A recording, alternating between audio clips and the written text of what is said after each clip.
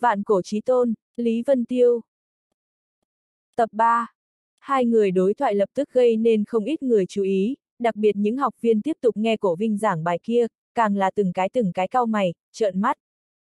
Thuật luyện sư giảng bài là cơ hội học tập dị thường khó được, rất lâu mới có thể ngộ một lần. Thời điểm mỗi vị thuật luyện sư lên cấp, đều sẽ công khai giảng bài một lần như thế. Hai người các ngươi, muốn cãi nhau mời đi ra ngoài. Một tên thuật luyện học đồ rốt cục không nhịn được, hắn xếp hạng khá sau, vốn đã nghe không rõ lắm, tâm lý đang rất buồn bực. Xin lỗi, chúng ta đi ngay. Lạc Vân thường hơi xin lỗi, nàng cũng biết cơ hội nghe giảng bài đối với bọn hắn mà nói là cực kỳ chân quý. Nàng mạnh mẽ ở trên vai Lý Vân Tiêu đập một cái, quát lên. Còn không mau cút đi ra ngoài. Âm thanh của nàng gây nên không ít người liếc nhìn, cổ vinh ở trong góc giảng bài cũng hơi nhướng mày, ngẩng đầu lên, lạnh lùng nói. Chuyện gì? Các học viên đang nghe đến mê mẩn đều phục hồi tinh thần lại, đồng thời quay đầu, căm tức hai người này quấy rối. Cổ Vinh cũng mơ hồ có chút không vui, hắn biết là Lạc Vân thường, nhưng cảm giác đối phương cũng quá không nể mặt hắn, hắn vốn tự cao tự đại, trong đôi mắt lộ ra tinh mang, bức xạ mà đến, sau khi nhìn thấy Lý Vân Tiêu rủ đầu xuống ở sau lưng Lạc Vân thường. Vân Thiếu, Lý Vân Tiêu, Vân Thiếu, Lý Vân Tiêu. Hắn bỗng nhiên như xét đánh, nội tâm không ngừng hô tên hai người này, cả người triệt để bối rối. Cổ đại sư, có hai tên ngu đần đang gây sự, ta sẽ đuổi bọn họ đi ra ngoài. Một tên thuật luyện học đồ muốn thể hiện lên tiếng. Ngu đần. Cổ Vinh lẩm bẩm niệm một hồi, đột nhiên cả người cơ linh, vội vàng vọt lên, một cái tát trực tiếp vỗ bay học viên kia ra ngoài, giận dữ hét. Ngốc con mẹ a, à, người ta không ngại ngàn dặm xa xôi chạy tới chỗ chúng ta học tập, người biết có bao nhiêu khổ cực sao? Phần hiếu học này các ngươi sánh được sao? Phần nghị lực này các ngươi so nổi sao? Mọi người đều dại ra, vỗ vỗ đầu, nhìn học viên bị đập bay trên đất, lúc này mới phản ứng được mình nhìn thấy là thật sự. Vân, Vân Thiếu. Cổ Vinh vội vàng vọt lên, cẩn thận từng ly từng tí chào hỏi.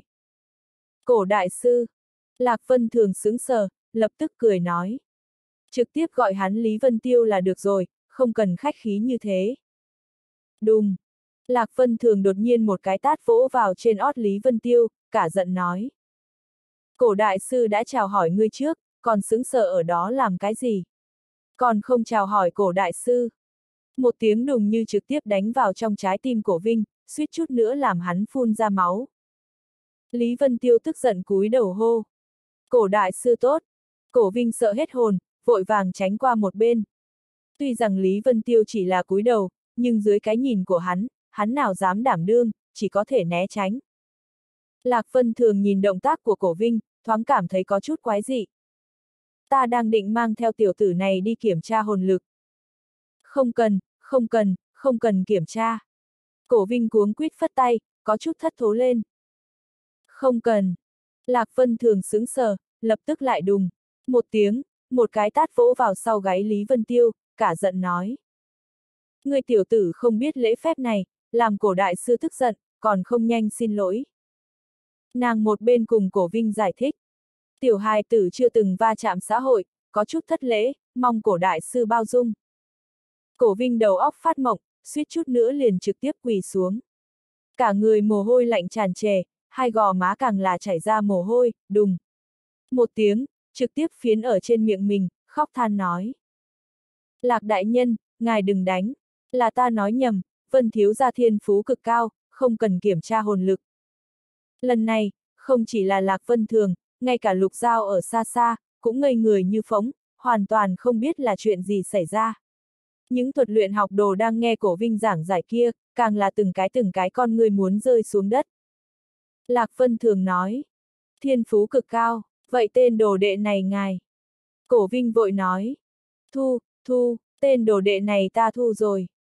Hắn nói xong, lập tức cảm thấy lời có chút không thích hợp, chỉ thấy ánh mắt của Lý Vân Tiêu lạnh như băng đang theo dõi hắn, nhất thời sợ đến run cầm cập nói. Không, không, ta nói sai rồi, không thu, không thu. Lạc Vân thường quái dị nói. Cổ đại sư, hôm nay ngài biểu hiện thực sự quá quái dị, đến cùng thu hay là không thu? Cổ Vinh vẻ mặt đưa đám nói.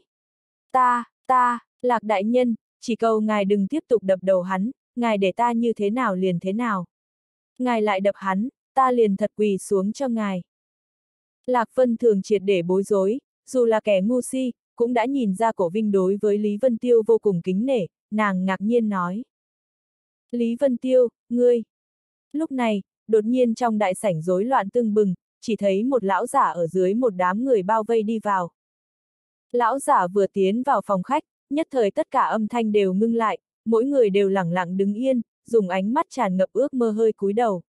Hai mắt lão giả kia sắc bén, sắc mặt dị thường nghiêm nghị, sau khi tiến vào phòng khách ánh mắt quét qua, thời điểm nhìn thấy Lạc Vân Thường hơi có chút ngạc nhiên, lập tức gật đầu cười đáp lại, liền đi thẳng đến lầu 2. Lý Vân Tiêu hơi ngưng mắt, vừa nãy trên người lão giả kia tản mát ra hồn lực gợn sóng rất mạnh, chỉ ít cũng là đại sư cấp thuật luyện sư. Sau khi chuyển thế sống lại, hắn vẫn là lần thứ nhất nhìn thấy cấp 3 thuật luyện sư. Lão giả vừa lên lầu 2, trong đại sảnh lần thứ hai ồn ào lên, rộn rộn ràng ràng. Sắc mặt Lạc Vân thường nghiêm túc.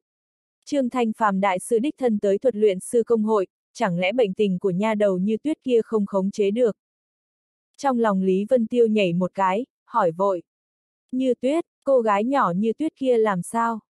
Sắc mặt của Lạc Vân thường có chút khó coi, than thở. Điều này cũng không phải bí mật gì. Nhà đầu như tuyết kia trời sinh ngũ âm tuyệt mạch, nguyên bản không sống hơn 5 tuổi. Năm đó quốc vương bệ hạ dùng hết quốc lực, lúc này mới cầu một vị vương cấp thuật luyện sư ra tay, vì như tuyết bố trí một toa thuốc, đồng thời nói có thể bảo vệ nha đầu 10 năm tính mạng không lo. Như vậy tính ra, cũng đã 9 năm. Ngũ âm tuyệt mạch. Lý Vân Tiêu biến sắc, vẻ mặt nghiêm túc nói. Ngũ âm tuyệt mạch trừ khi là cấp 8 ngũ long trí dương đan, bằng không dựa vào thuốc, căn bản là không cách nào trị tận gốc. Ngũ long trí dương đan. Lạc Vân thường xứng sờ, tên đan dược này nàng là lần đầu tiên nghe nói. Vừa nghe đan dược có thể trị tận gốc bệnh của tần như tuyết, trong nháy mắt mừng như điên, nhưng sau đó như bị rót bồn nước lạnh, cười khổ nói.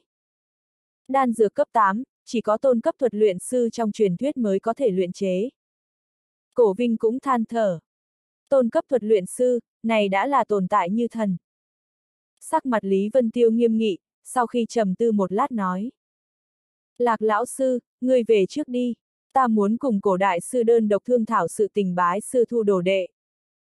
Lạc Vân thường quái lạ nhìn hai người một chút, dáng vẻ có chút hiên lòng không xuống.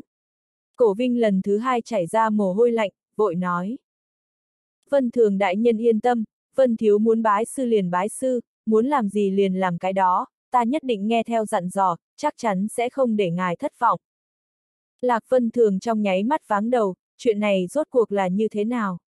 Cổ Vinh mắt cao hơn đầu, làm sao ở trước mặt Lý Vân Tiêu lại biến thành tùy tùng nô bộc? Đúng, nhìn dáng dấp hắn khúm núm, chính là nô bộc A, này vẫn là thuật luyện sư cao cao tại thượng sao.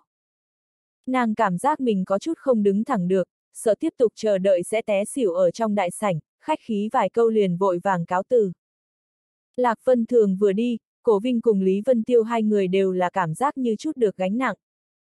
Lý Vân Tiêu nói, tìm một chỗ yên tĩnh, ta muốn suy nghĩ một vấn đề.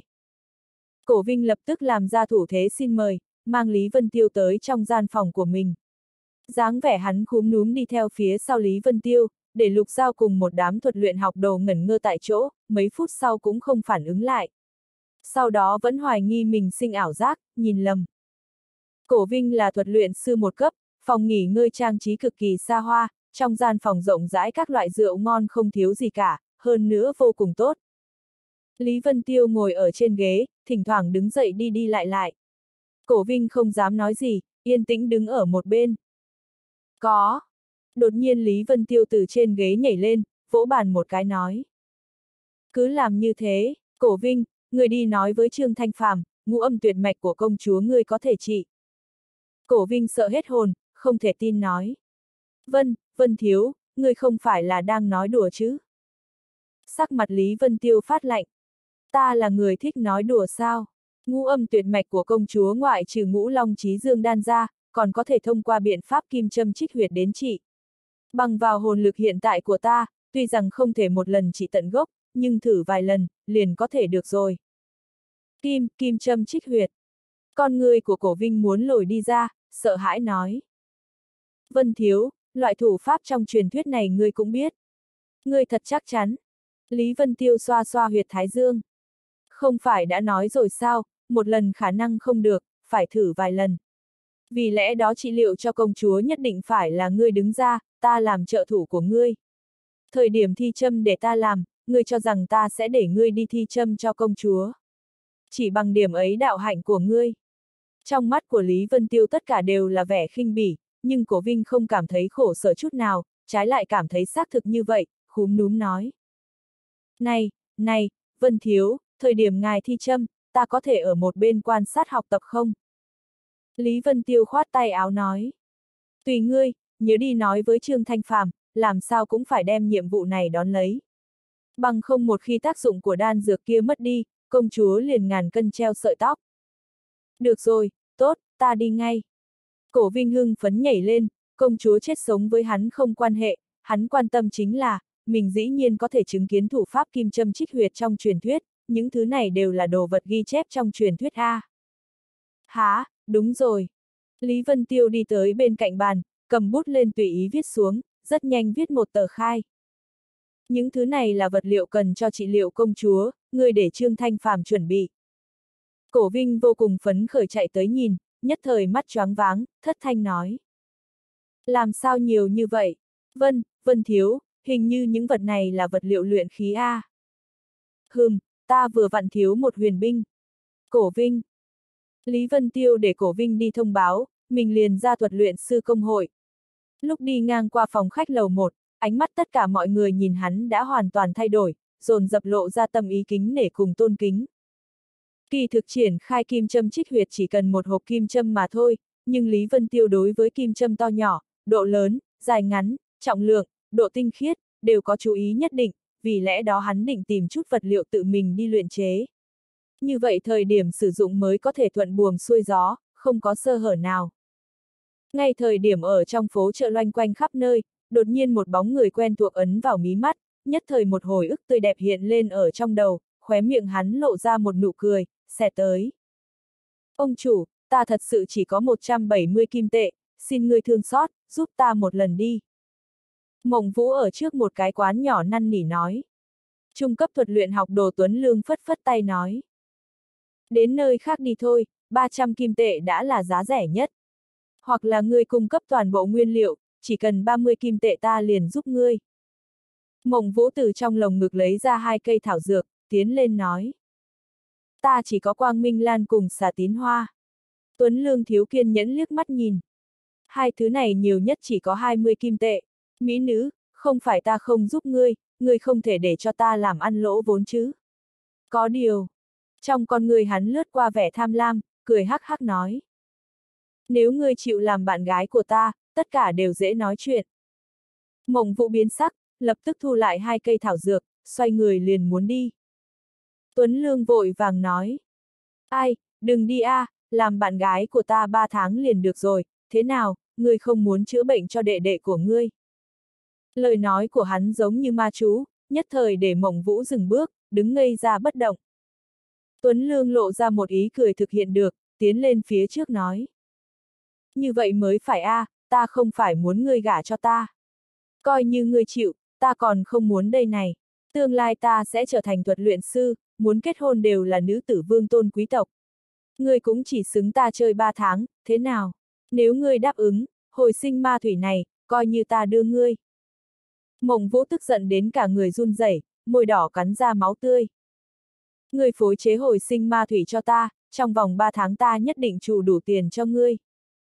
Còn trinh liệt, hừ hừ, nếu đệ đệ của ngươi không có hồi sinh ma thủy kéo dài tính mạng, sợ là không sống hơn ba tháng. Tiền có thể kiếm, nhưng mệnh của đệ đệ ngươi là bảo vật vô giá a. Audio điện tử võ tấn bền. Tuấn Lương lộ ra cười gằn, bắt nạt tiến lên, đưa tay ra, muốn hướng về trên người mộng vũ sờ soạng. Tiểu mỹ nhân, suy nghĩ thế nào? Ta xem ngươi còn là một sứ nữ, bằng không ta còn không lọt nổi mắt xanh. Đùng! Tay của Lương Tuấn giống như điện giật thu về, chán lạnh cả người, vội vàng xốc tay áo lên, máu ứ động bắt đầu phồng lên, đảo mắt liền sưng thành một gò núi nhỏ. Hắn kinh nộ nhìn Lý Vân Tiêu ra tay đánh mình, cả giận nói. Tiểu tử ngươi là người nào? Lại dám đánh ta? Tiểu tử ngươi là người nào? Lại dám động cái bô của ta? Lý Vân Tiêu nhếch miệng nở nụ cười, khá có thâm ý quay đầu nhìn Mộng Vũ một chút. Mộng Vũ vừa thấy Lý Vân Tiêu, trong đầu nhất thời ông ông tác hưởng, đêm đó tao ngộ trong nháy mắt lóe qua bộ não. Các loại tâm ý giận dữ và xấu hổ dâng lên, hai gò má đỏ chót, trong đôi mắt càng là phun ra lửa. Lương Tuấn sửng sốt một chút, lập tức lạnh giọng nói. Cái bô của ngươi, kia phải xem người ta có thừa nhận hay không, ngươi có biết ta là ai hay không?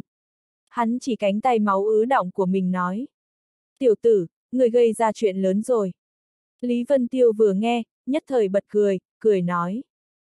Ngươi là ai, ta còn thật không biết. Lương Tuấn cười lạnh nói. Đợi lát nữa liền để ngươi cười không nổi. Ta chính là thuật luyện sư công hội trung cấp thuật luyện học đồ, lão sư của ta là sĩ cấp thuật luyện sư cổ vinh cổ đại sư. Đại ca kết bái của ta là trưởng tử Long Hạo của cấm vệ quân thống lĩnh Long Khánh Đại Nhân người thức thời quỳ xuống nói xin lỗi, lại lấy ra mấy trăm kim tệ tiền thuốc thang, việc này liền coi như thôi. Lý Vân Tiêu cười nói. Cổ Vinh ta biết, Long Khánh ta cũng biết, con trai của hắn Long Hạo thì chưa từng nghe tới, mấy trăm kim tệ ta cũng có. Hắn lấy ra một cái túi đựng đồ, ném xuống đất, trong mắt lóe ra một tia ý lạnh. Có điều, người có gan lấy thử xem. Lương Tuấn sững sờ, không nghĩ tới đối phương thật sự lấy ra mấy trăm kim tệ, nhất thời vui vẻ, khom lưng đưa tay đi lấy. Đột nhiên một đạo hàn ý lạnh lẽo từ trong xương truyền đến, khiến cho cả người hắn run lên, cả người lạnh lẽo, sợ hãi thật sâu từ nội tâm truyền tới. Hắn ngơ ngác ngẩng đầu lên, chỉ thấy ánh mắt Lý Vân Tiêu lạnh lẽo lướt qua một tia coi thường, chẳng khác nào nhìn người chết nhìn hắn. Trời ạ, à, đây là một loại ánh mắt thế nào? Những tướng sĩ bách chiến xa trường kia, cũng không có loại vẻ mặt giống như chết kia a. À. Cánh tay duỗi ra nhất thời đình trệ ở giữa không trung, trong nháy mắt Lương Tuấn liền mồ hôi lạnh ướt đẫm toàn thân. Hắn mười ngàn cái tin tưởng, nếu mình đụng tới túi tiền kia, đối phương tuyệt đối sẽ giết chết mình. Mộng Vũ ngơ ngác nhìn Lý Vân Tiêu, loại khí thế lãnh đạm kia cũng ảnh hưởng đến nàng, trong lòng chấn động thật sâu. Lúc trước vì chủ tiền, mới bất đắc dĩ đáp ứng Lam Phi thiết kế hãm hại người. Ai biết trộm gà không xong còn mất nắm gạo, Lam Phi trực tiếp bị khai trừ đi, mình một phân tiền không bắt được, ngược lại bị người đàn ông kia mò khắp cả toàn thân.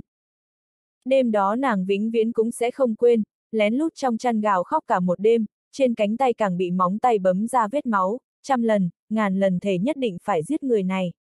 Nhưng lúc Lý Vân Tiêu thật sự xuất hiện lần nữa ở trước mắt nàng thì, ngoại trừ đầy ngập lửa giận, lại bất luận làm sao cũng ra tay không được. Ngày đó ở trên diễn võ trường, dáng người phong độ tuyệt thế kia, đã sâu sắc dấu ấn vào trong nội tâm nàng. Nữ hài tử đều sùng bái anh hùng, cường giả dễ dàng làm vô số người mơ màng, một chiêu phù sinh nhược mộng, phi hồng hữu ấn, cũng ở trong lòng thiếu nữ này, lưu lại dấu ấn nam tử sâu sắc. Nàng không biết cái gì mới là cường giả chân chính, nhưng hơn nửa cùng cái bóng người kia khác xa a. Hạo ca. Tiếng kêu kinh hỉ của Lương Tuấn đem mộng vũ từ trong trầm tư kéo trở lại, hắn phảng phất nhìn thấy đại cứu tinh, nhanh chóng hướng về một nam tử thân mang áo giáp chạy như bay. Rất nhanh vươn tay hướng về bên Lý Vân Tiêu chỉ chỉ trỏ trỏ, nói thầm gì đó. Long Hạo một mặt lạnh lùng, mang theo một đám binh sĩ đi tới, lạnh lùng nhìn Lý Vân Tiêu cùng Mộng Vũ một chút, ngẩng đầu lên nhìn bầu trời. Ta không biết ngươi là người nào, cũng không muốn biết. Hiện tại cho ngươi hai lựa chọn, một, quỳ xuống nhận sai bồi tội cho lão đệ của ta, lưu lại nữ nhân kia cùng số tiền này, sau đó cút đi. Thứ hai, chính là biến thành phế nhân, sau đó đến trong đại lao vượt qua quãng đời còn lại. Cho ngươi thời gian ba cái hô hấp, chọn đi. Trách nhiệm ngày hôm nay của hắn, là mang theo một đám người dò xét khắp nơi, đang lúc tẻ nhạt. Mặc dù Lương Tuấn xuất thân bần dân, nhưng thực lực bản thân không yếu, hơn nữa sư phụ hắn là thuật luyện sư cổ vinh được khen có tiền đồ nhất, vì lẽ đó Long Hạo cũng vui vẻ cùng hắn giao du, tiện thể bán một cái nhân tình cho hắn. Hừ, dám động ta, đã nói cho ngươi, đại ca kết bái của ta là Long Hạo. Tiểu tử, sau này ở thủ đô cất bước, con mắt phải sáng một chút. Lương Tuấn oai phong lẫm liệt kêu ầm lên, hắn hai bước liền đi tới trước túi tiền, cúi người xuống liền muốn nhặt lên. ầm, um, bóng người Lý Vân Tiêu lóe lên, thân thể Lương Tuấn như diều đứt dây bay lên, mạnh mẽ hạ xuống trước đám người Long Hạo. Con người của Long Hạo co rụt lại, mấy người vội vàng hướng bốn phía tản ra, nhất thời oanh một tiếng đập xuống đất. Lương Tuấn máu me đầy mình cùng vẻ mặt không thể tin tưởng, run rẩy nói. Đại, đại ca, ta, đan điền ta phá nát, phế, phế bỏ, ta triệt để phế bỏ. Long hạo mặt không thể tin tưởng nhìn Lương Tuấn, trong đầu còn có chút không kịp phản ứng, giận dữ hét. Tiểu tử, người dám đả thương tiểu đệ của ta. Binh lính phía sau hắn dồn dập rút ra binh khí, làm tốt chuẩn bị bất cứ lúc nào động thủ. Mộng Vũ cũng ngẩn ngơ, không nghĩ tới Lý Vân Tiêu dĩ nhiên nói phế liền phế, kiên quyết quả đoán như thế. Tuy rằng hung tàn chút, nhưng trong nội tâm lại ấm áp không nói ra được, trong mắt càng là cảm thấy có loại chua cay. Lý Vân Tiêu lạnh lùng nói. Ta tuyển hai, làm phiền chư vị binh ca ca đưa ta đi đại lao vui đùa một chút. Chết! Long hạo hét lớn một tiếng, hắn cuối cùng cũng coi như là phản ứng lại, tu vi võ sĩ trong nháy mắt bộc phát, rút ra một cây đại đao, điên cuồng trực chém xuống. Hắn tức giận đến nổi khùng, người trẻ tuổi tại thủ đô dám không nể mặt hắn như thế, vẫn đúng là khó tìm ra mấy cái. Hơn nữa Lương Tuấn chính là đệ tử của cổ vinh, ở trước mắt mình bị bạo đan điền, không chỉ ít đi một bằng hữu có tiền đồ, hơn nữa đến thời điểm cổ vinh trách tội xuống, sợ là sẽ bị phụ thân tàn nhẫn đánh một trận. Trên mặt mộng vũ lộ ra vẻ lo âu, tuy nàng biết bối cảnh cùng thực lực của Lý Vân Tiêu, nhưng giờ khắc này dù sao đối phương cũng người đông thế mạnh. Hơn nữa đều là cấm vệ quân hàng thật đúng giá, đều là võ sĩ từ trên lưỡi đao liếm huyết, sức chiến đấu chân thực mạnh hơn nhiều những học sinh cả ngày ở học viện tu luyện như bọn họ. Chi, làm sao có khả năng? Long hạo thanh thế kinh người, nhưng giơ tay chém xuống, lại chỉ truyền đến một tiếng vang trầm thấp nhẹ nhàng, thanh nguyệt bảo đao của mình, lại bị đối phương duỗi ra hai ngón tay trực tiếp kẹp lấy. Hai ngón tay, kẹp lấy thanh nguyệt bảo đao. Tất cả mọi người đều giật nảy cả mình. Lý Vân Tiêu khóe miệng mỉm cười, hai ngón tay nắm nhẹ, như niêm hoa ngắm trăng. Nhìn như vô cùng dễ dàng, kỳ thực là một môn chỉ pháp vô cùng cao minh, niêm hoa nhất tiếu. Long hạo ở sau khi thất thần ngắn ngủi, liền tỉnh ngộ lại, gặp gỡ thiết bản, chẳng trách dám kiên cường như thế. Hắn hét lớn một tiếng. Thanh Nguyệt bảo đao, giải phong. Một tiếng vang nặng nề từ trong thanh nguyệt đao gào thét truyền ra, như đao hồn vắng lặng đang dần dần thức tỉnh. Từ trên thân đao truyền đến từng trận tần suất nhảy lên, khí thức sát phạt mãnh liệt trong nháy mắt lan tràn ra, dáng dấp bảo đao cũng bắt đầu phát sinh biến hóa dị thường. Lý Vân Tiêu nhíu mày, hai ngón tay cảm nhận được thân đao biến hóa, lập tức chấn động ra. Huyền binh! Mộng Vũ che miệng thất thanh nói, trong đôi mắt tất cả đều là vẻ hoảng sợ. Huyền binh chính là chiến khí của võ giả chuyên dụng, trong đó ẩn chứa uy lực vô cùng. Chỉ có thuật luyện sư mới có thể luyện chế, mỗi một kiện đều giá trị liên thành, vạn kim khó cầu. Thanh Nguyệt bảo đao này của ta chọn dùng thâm hải hàn thiết luyện chế thành, xuất từ tay sư cấp thuật luyện đại sư Lương Văn Vũ Đại Nhân. Trong mắt Long Hạo bỗng nhiên lướt qua một đạo hàn mang, yêu quý khẽ vuốt bảo đao của mình. Ngươi là người thứ ba nhìn thấy cây đao này của ta giải phong, hôm nay chết dưới ẩm huyết đao, cũng coi như là có phúc ba đời. Hắn vũ lên mấy cái đao hoa, từng trận hàn ý ở trên không trung khuếch tán ra, lưỡi đao sắc bén, đánh đâu thắng đó không gì cản nổi. Một đạo hàn mang xẹt qua trời cao, lần thứ hai hướng Lý Vân Tiêu chém xuống. Chỉ là huyền binh cấp một bỏ đi, thứ bỏ đi dùng đồ bỏ đi. Lý Vân Tiêu xì cười một cái, dưới chân quỷ dị đạp ra một bước, liền nhẹ nhàng tránh qua. Song chỉ nhanh như chớp giật hướng trên thân đao bắn ra, thịch một tiếng lanh lảnh vang lên. Tiếp theo dưới chân hắn nhanh chóng lấp lóe, thân hóa ra đạo đạo tàn ảnh, ở hai bên thanh long đao lấp lóe, chỉ tay gảy nhẹ trên thân đao, từng tiếng ong ong ong truyền ra bốn phía. Long hạo kinh hãi, chỉ cảm thấy bảo đao trong tay tựa hồ đang rên rỉ, vội vàng thu hồi thân đao. Này, xảy ra chuyện gì? Long hạo triệt để há hốc mồm, thanh nguyệt bảo đao mới vừa giải phong dĩ nhiên khôi phục dáng vẻ lúc trước, cùng một binh khí phổ thông giống như đúc. Hắn ngơ ngác, vội vàng đem nguyên khí rót vào trong đó, quát to. Thanh nguyệt bảo đao, giải phong. Liên tiếp hô mấy lần, nhưng bảo đao kia nơi nào có chút dáng vẻ giải phong, nhất thời từng tia từng tia mồ hôi lạnh từ trên trán chảy ra. Long hạo hầu như muốn khóc lên, bảo đao này xảy ra chuyện gì? Phế bỏ, trời ạ, đây chính là ta dốc hết gia sản, ngàn cầu vạn cầu mới để lương văn vũ đại sư chế tạo ra a. Lý Vân Tiêu hai tay ôm ở trước ngực, cười lạnh nói. Còn có thủ đoạn gì, tất cả đều lấy ra ta xem một chút. Qua, wow, giết hắn, giết hắn cho ta. Long hạo điên rồi, triệt để điên rồi, giống to bất chấp tất cả, mang theo một đám thủ hạ trực tiếp vọt lên, giơ đao lên liền trực tiếp chặt bỏ. Hừ, một đám nhãi nhép, tất cả đều cút ngay cho ta. Lý Vân Tiêu quát lạnh một tiếng, hóa thành đạo đạo tàn ảnh vọt vào trong đám binh sĩ, một bộ quyền pháp uy vũ sinh huy, quang hoàn mê mắt, lấy đường lối rất bất hợp lý triển khai ra. Âm, âm, âm. Một đám binh sĩ chỉ cảm thấy trước mắt mở ảo, trong nháy mắt mọi người liền trúng vô số quyền ảnh, áo giáp che ngực toàn bộ vỡ ra, một luồng kinh khí trực tiếp đánh vào trong cơ thể, bay ngược ra ngoài. Mộng Vũ xem trợn mắt ngoác mồm, Lý Vân Tiêu thật giống như hồ điệp phiên vũ trong khóm hoa, dĩ nhiên có từng điểm từng điểm nguyên khí hóa thành ánh huỳnh quang, ở quanh người hắn lấp lóe, nhưng mảnh y không dính. Chuyện này, đây rõ ràng là khiêu vũ A, này còn là đánh nhau sao? Bộ võ kỹ này của hắn gọi là bách hoa thác quyền, bách hoa dịch địch, thác tự nan đáng. Chính là quyền pháp do một vị vũ đế tên viên sĩ tiêu sáng chế. Viên sĩ tiêu này nhân sinh gặp khó, tính tình thác loạn, thường làm ra sự tình điên điên khùng khùng.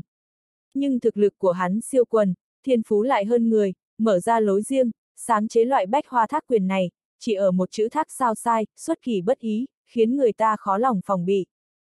Rất nhanh, những binh sĩ kia từng cái từng cái nằm ngã trên mặt đất kêu rên không ngớt.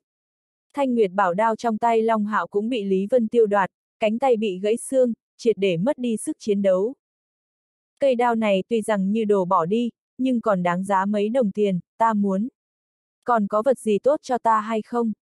Lý Vân Tiêu một cước đá vào trên xương đùi của Long Hạo, ca một tiếng, lại là xương đùi gãy vỡ. Long Hạo dầm một cái quỳ xuống, mặt đầy vẻ oán độc, Tê Thanh nói. Cha ta là thống lĩnh cấm vệ quân, người dám đánh ta cướp ta, ta muốn dẫn người diệt cả nhà ngươi. Diệt cả nhà của ta. Ánh mắt Lý Vân Tiêu phát lạnh, đang muốn nổi giận, đột nhiên cười tà nói. Ta cũng rất kỳ vọng ngươi dẫn người đi nhà ta, nhìn có thể diệt bọn hắn hay không. Đột nhiên xa xa truyền đến một tiếng quát nhẹ. Người phương nào ở phía trước gây sự. Thanh âm không lớn, nhưng uy thế kinh người, cuồn cuộn mà đến, mỗi người đều nghe được rõ rõ ràng ràng, màng tai cũng có chút đâm nhói. Đó là... Long hạo mở mắt nhìn tới, nhất thời phát hiện nhánh cỏ cứu mạng, vội vàng gào thét lên. Đại nhân, thần vệ đại nhân, ta chính là cấm vệ quân đệ tam đại đội đội trưởng Long Hạo, nơi này có người công kích cấm vệ quân, kính xin thần vệ đại nhân xuất thủ cứu ta. Hai nam tử ở trên đường cũng không rộng lắm, cưỡi tuấn mã đi song song. Bách tính hai bên đường dồn dập nhìn huy chương trên vai trái của bọn họ, từng cái từng cái lộ ra vẻ sợ hãi, dồn dập lùi tránh. Huy chương này là do vàng dòng chế tạo, mặt trên khắc một thanh trường kiếm cùng một tấm khiên, đại biểu chính là cơ cấu vũ lực mạnh nhất phương quốc, chân quốc thần vệ. Người phương nào lớn mật như thế, còn không để đồ đao trong tay xuống, bó tay chịu trói. Huy Minh trầm giọng nói, một luồng khí thế cao cao tại thượng nhất thời tản mát ra. Trong mắt hắn lóe ra vẻ kinh ngạc, tuy rằng Lý Vân Tiêu nhìn qua khí thế bất phàm, nhưng chỉ là nhị tinh võ sĩ, Long Hạo là tam tinh võ sĩ, còn có nhiều giúp đỡ như vậy, làm sao sẽ bị đánh đổ. Ánh mắt huy quang rơi vào thanh nguyệt bảo đao trong tay Lý Vân Tiêu, hơi chấn động một cái, quát khẽ. Đệ đệ, bắt hắn. Huy Minh ngồi ở trên ngựa, lạnh lùng nhìn chằm chằm Lý Vân Tiêu nói. Là ngươi bó tay chịu trói, hay là để ta ra tay? Nếu buộc ta ra tay, liền sẽ chịu khổ. Lý Vân Tiêu lộ ra vẻ khinh bỉ. Không hỏi thị phi, không phân biệt trắng đen, làm sao ngươi biết sai ở chỗ ta? Huy Minh cười lạnh nói. Cấm vệ quân chính là phụ tá đắc lực của bệ hạ, há có thể oan uổng ngươi, xem ra ngươi là sẽ không thành thật. Vậy ta liền hao chút tâm tư đi. Hắn từ trên lưng ngựa bay lên trời, cả người như đại bằng dương cánh, lâm không hướng Lý Vân Tiêu áp sát, động tác nhanh vô cùng, tay phải hóa trưởng thành đao, đột nhiên đánh xuống. Mặc dù trên mặt Lý Vân Tiêu là vẻ cười gần, nhưng trong lòng cảnh giác từ lâu đã thăng đến đỉnh cao. Đối phương là nhị phân cảnh võ sư, dòng giã cao hơn hắn một đại cảnh giới. Mặc dù Lam Huyền là cửu tinh võ sĩ đỉnh cao, nhưng kém một bước, liền cách ngàn dặm, cùng võ sư hoàn toàn không thể sánh được. Nhưng mặc dù là Lam Huyền, hắn cũng phải dựa vào lĩnh ngộ đối với quy tắc, mượn lực lượng thiên địa mới một chiêu đắc thắng, bằng không mặc dù có thể thắng, cũng phải trả giá rất lớn. Hừ! Thanh Nguyệt bảo đao nhấc lên, Lý Vân Tiêu lạnh rên một tiếng, chém ra một đao, nhất thời ánh vàng bắn mạnh, sặc sỡ lóa mắt. Huy Minh biến sắc, cả kinh nói. Ngươi chỉ là nhị tinh võ sĩ, làm sao có thể có đao quang như vậy? Đây là, huyền binh. Sau khi hắn nhận ra Thanh Nguyệt bảo đao, bàn tay nào dám mạnh mẽ chống đỡ huyền binh, vội vàng thu cánh tay về, song quyền đột nhiên đẩy ra, một luồng nguyên khí ẩm ẩm lao tới, như sóng biển cuồn cuộn, đem ánh đao nuốt chửng vào. ầm, um, Lý Vân Tiêu cảm nhận được kinh khí phản chấn trên thân đao, chân phải nhẹ nhàng bước ra một bước, đem kinh lực hóa giải, hoành đao mà đứng. Huy Minh trực tiếp rơi vào địa phương cách hắn 10 mét, vẻ vui mừng trong mắt lóe lên một cái rồi biến mất, lạnh lùng nói. Chẳng trách ngươi có thể bên đường hành hung, nguyên lai ỉ vào mình có huyền binh. Bất quá hôm nay gặp gỡ huynh đệ chúng ta, ngươi làm giữ cũng đến đây kết thúc. Kết thúc con mẹ ngươi. Đột nhiên Lý Vân Tiêu quát lên một tiếng, thừa lúc hắn phí lời ánh đao lấp lóe, mạnh mẽ lăng không chém giết tới. Một âm thanh phá không đâm màng tai người, không trung dĩ nhiên lướt qua một đạo hào quang màu vàng. Thực lực hai người cách biệt quá xa, trong lòng Lý Vân Tiêu sớm có cân nhắc, nhất định phải nắm quyền chủ động trong tay, nếu bị động lên, đối phương bằng vào sức mạnh tranh lệch, liền đủ để nghiền ép mình. Huy Minh trợn mắt nhìn, không nghĩ tới đối phương dám chủ động công kích, giận dữ cười nói. Hay, hay, tự mình muốn chết. Đột nhiên hắn từ trên người lấy ra một thanh trường kiếm màu đồng cổ, mạnh mẽ chém đi ra ngoài, hai ánh vàng ở trên không trung va chạm, lóa mắt rực rỡ. Di hình hoán ảnh, ác ma phong cước. Lý Vân Tiêu đột nhiên huyễn ra mấy đạo tàn ảnh, chân thân cúi xuống, thân thể xoay tròn nửa vòng, chân phải nhanh như chớp giật, lấy một góc độ khó có thể tin đột nhiên đá tới. Dưới chân dĩ nhiên từ từ nhóm lửa, đem không khí đốt cháy rừng rực. Huy Minh kinh hãi, nguyên bản bị tàn ảnh của Lý Vân Tiêu mê hoặc một hồi, đợi thời điểm phát hiện một cước đá đến, đã không thể phòng. Thân thể hắn đột nhiên áp xúc, thân hóa lạc diệp hướng về phía sau lui nhanh mấy mét mới giữ vững thân thể. Giải phong. Lý Vân Tiêu một chiêu đắc thủ, khẽ quát một tiếng, nghiêng người mà lên, thanh nguyệt bảo đao trong tay phát sinh nổ vang nặng nề, như một con hùng sư ngủ say đột nhiên tỉnh lại, sức mạnh khổng lồ quanh quẩn thân đao, từng vòng khuếch tán ra, ánh đao như nước, hàn khí trùng thiên, hướng về huy minh phủ đầu chém xuống. Hết thảy chiêu số của hắn, từ bạo lên xuất đao, đến di hình hoán ảnh, đến ác ma phong cước, đến bảo đao giải phong, toàn bộ làm liền một mạch, như nước chảy mây trôi, không có mảy may ngưng lại. Kiếp trước thân là vũ đế cửu thiên cảnh đỉnh phong, Lý Vân Tiêu trên căn bản đối với chiêu thức bách gia đều có hiểu biết nhất định, hơn nữa có thể thông hiểu đạo lý, học một biết mười. Những võ kỹ cấp thấp kia, càng là tiện tay nắm đến, tâm tùy ý động, muốn dùng liền dùng. Nội tâm của hắn cũng dị thường rõ ràng, đối mặt huy minh thực lực vượt xa mình, cũng chỉ có dựa vào kinh nghiệm chiến đấu cùng võ kỹ phong phú, mới có thể giết đến đối phương không kịp ứng phó. Bằng không dựa vào thực lực tranh lệch, chỉ cần đối phương đứng vững gót chân, dốc hết toàn lực, một chiêu liền có thể đối phó mình. Nhưng liên tiếp xuất kỳ bất ý, đã đem Huy Minh đánh có chút bối rối. Một bên Long Hạo càng là triệt để xem choáng váng, thế mới biết nguyên lai thực lực của mình cùng đối phương cách biệt to lớn như thế, từ lâu đã cả kinh đến mồ hôi lạnh liên tục. Có điều hắn càng thêm không thể rõ ràng chính là, tại sao mình không cách nào giải phong bảo đao, lại bị đối phương dễ dàng giải phong, hơn nữa tựa hồ uy lực càng mạnh. Giải phong. Huy Minh bị công đến có chút bối rối, trong mắt lóe ra phẫn nộ cùng sát ý, một nhị tinh võ sĩ nho nhỏ lại đem mình đẩy vào tuyệt cảnh, hắn gầm lên giận dữ, đột nhiên trường kiếm màu cổ đồng trong tay ánh sáng chói lóa, bay ngang qua bầu trời. Ngay trong nháy mắt huyền của hắn giải phong, bảo đao của Lý Vân Tiêu đã chém xuống. Cong! Hai huyền binh kịch liệt chạm vào nhau, trường kiếm ở trạng thái vừa giải phong, chẳng biết vì sao dĩ nhiên ở dưới một đao kia, mạnh mẽ bị bức ép trở lại, trở thành trạng thái phổ thông. Mà bảo đao của Lý Vân Tiêu vẫn sặc sỡ lóa mắt, lần thứ hai nâng đao chém xuống. Nguy hiểm! Huy quang ở trên lưng ngựa hoàn toàn biến sắc, hắn thân là người bên ngoài, nhất thời phát hiện có chút không đúng. Tuy rằng hắn cũng không hiểu vì sao thực lực chênh lệch lớn như vậy, Huy Minh dĩ nhiên bị đối phương đè đánh.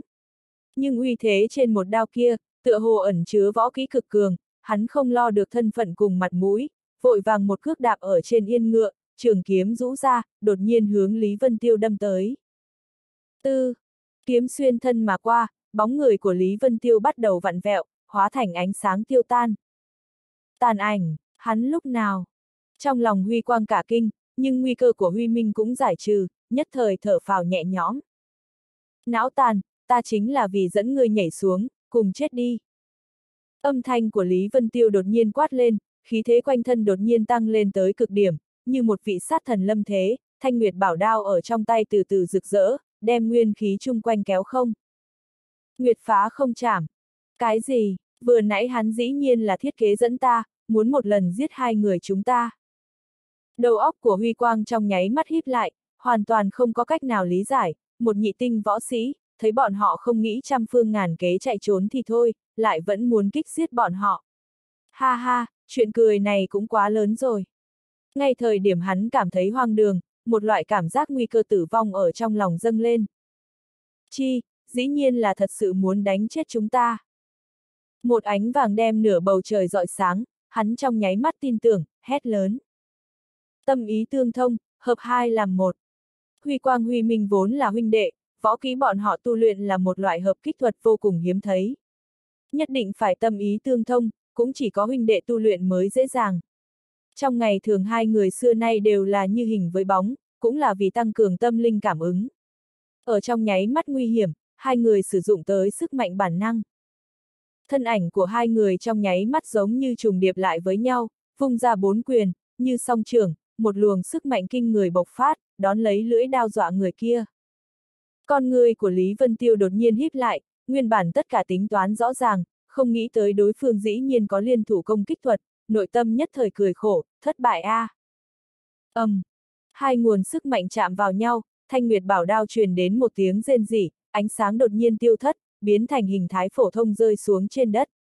Cả người Lý Vân Tiêu bị lực lượng chấn động đi ra ngoài, không trung máu tươi điểm điểm, nhìn mà phát sợ, mạnh mẽ ngã ở trên góc đường. Yên tĩnh. Mộng Vũ nhìn toàn bộ quá trình, trong lòng chấn động mạnh, không chỉ là Lý Vân Tiêu biểu hiện ra thực lực, dĩ nhiên bức hai vị trấn quốc thần vệ ra tay, hơn nữa vừa nãy nàng tựa hồ trở nên hoảng hốt, thật giống như thời điểm Lý Vân Tiêu bị đánh bay, lại vẫn quay đầu hướng về nàng nở nụ cười, gọi nàng chạy trốn. Tuy rằng không có âm thanh truyền đến, nhưng trong đầu xác thực vang vọng tiếng nói của hắn.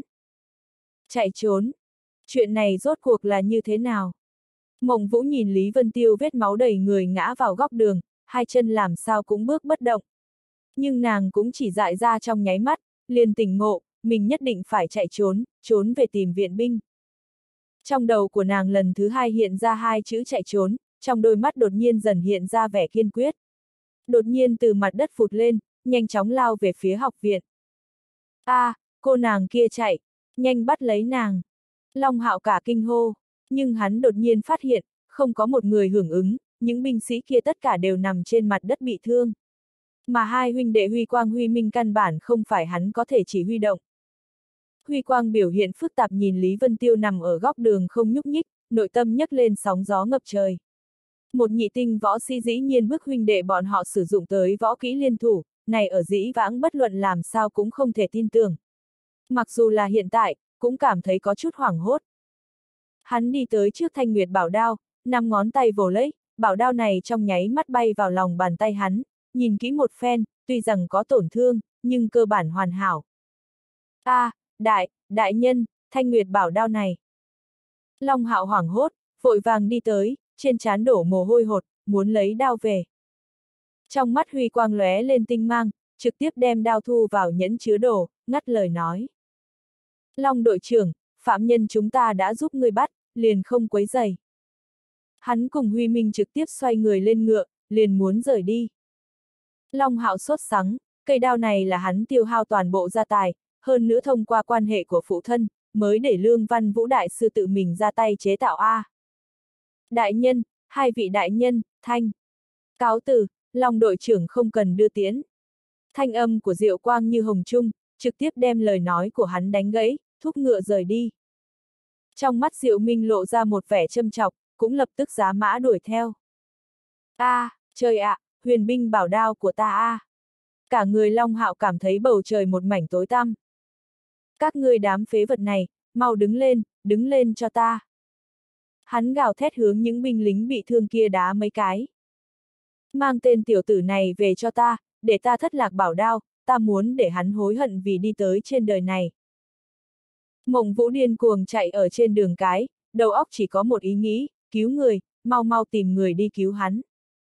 Bóng người của Lý Vân Tiêu ở trong đầu nàng lái đi không được, tới tới đi đi, tất cả đều là cái bóng của hắn. Nghĩ đến tình cảnh đẫm máu ở đầu đường đó, tâm nàng như có đao nhọn đâm vào, rất là đau đớn. Ta nhất định phải tìm người cứu hắn. Nàng điên cuồng chạy một trận, mới thoáng tỉnh táo lại, phát hiện đã không biết đến nơi nào, đột nhiên nhìn thấy phía trước có một mảnh trạch viện to lớn, cửa còn có binh sĩ thủ vệ. Trong lòng nàng cả kinh, cẩn thận từng ly từng tí một đi tới, đột nhiên trong mắt sáng ngời, nội tâm mừng lớn nói. Dĩ nhiên là Lý Phủ, hắn là Lý gia trưởng tôn đại công tử, tìm tới Lý Phủ, lần này có thể cứu. Ở trong Lý Phủ, một tên hoa y nam tử đang thưởng kiếm, lẩm bẩm khen. Quả nhiên là huyền binh cấp 2, chỉ là trạng thái phong ấn liền tỏa ra sức mạnh to lớn bực này, giải phong càng là khó có thể tưởng tượng. Hắn đang dương dương tự đắc, đột nhiên nhìn thấy một người hầu chạy tới, khẽ cau mày quát lên. 9527, người đi đâu? 9527 là đánh số của người hầu kia, Lý Phủ thực sự là quá mức khổng lồ, để cho tiện quản lý người hầu, tất cả đều xóa đi tên vốn có, dùng con số thay thế. Trừ khi làm việc xuất sắc, được chủ nhân thưởng thức, mới sẽ ban tên. 9527 là đánh số của một hạ nhân cấp thấp. 9527 nhìn thấy nam tử, vội vàng khom người khiêm tốn nói. Giật thiếu ra, ngoài cửa có một cô gái, nói là vân tiêu thiếu ra bị cấm vệ quân bắt, để tiểu nhân đi thông báo đại lão ra cứu người. Con! Bảo kiếm ánh sáng lóe lên liền vào vỏ, toàn bộ tiểu viện tựa hồ giảm mấy độ. Trên mặt Lý giật lộ ra một tia tò mò, khẽ ồ lên nói. Tên rác rưởi này không phải ở trường học pha trộn sao, làm sao sẽ cùng cấm vệ quân nổi lên xung đột. 9527 vội vàng lắc đầu nói. Tiểu nhân không biết. Lý giật lướt qua vẻ miệt thị, hừ lạnh nói. Một tên rác rưởi, bị tóm liền bị tóm, có quan hệ gì đâu. Người đi nói cho nữ nhân kia, liền nói đại lão gia đã biết rồi, bảo nàng không cần quan tâm. Vâng. 9527 vội vàng gật đầu, sau đó vội vàng chạy ra ngoài. Hắn lại dám tùy ý giả truyền đại lão gia, hơn nữa đối với lý gia trưởng tôn đại thiếu gia sinh tử lãnh đạm như vậy, nhưng 9527 không có bất kỳ cảm giác bất thường nào, ngược lại đây mới là chuyện đương nhiên, vội chạy đi hồi âm. Lý giật thì lại lần thứ hai lấy ra bảo kiếm, lộ ra vẻ xem xét, phảng phất chẳng có chuyện gì phát sinh. Mộng Vũ lo lắng ở cửa đi qua đi lại, rất nhanh liền được tin tức, lúc này mới để lo lắng trong lòng xuống. Tựa hồ còn có chút không yên lòng, cẩn thận dò hỏi. Các ngươi lúc nào đi cứu hắn? 9527 lắc đầu chỉ chỉ thiên. Đây là chuyện của cấp trên, chúng ta làm sao biết? Đại lão gia nói rồi, người cứ yên tâm là được. Mộng vũ tự nhiên biết cái gọi đại lão gia chính là thiên thủy quốc quân đội đệ nhất nguyên lão, bị phong là tính quốc công lý thuần dương.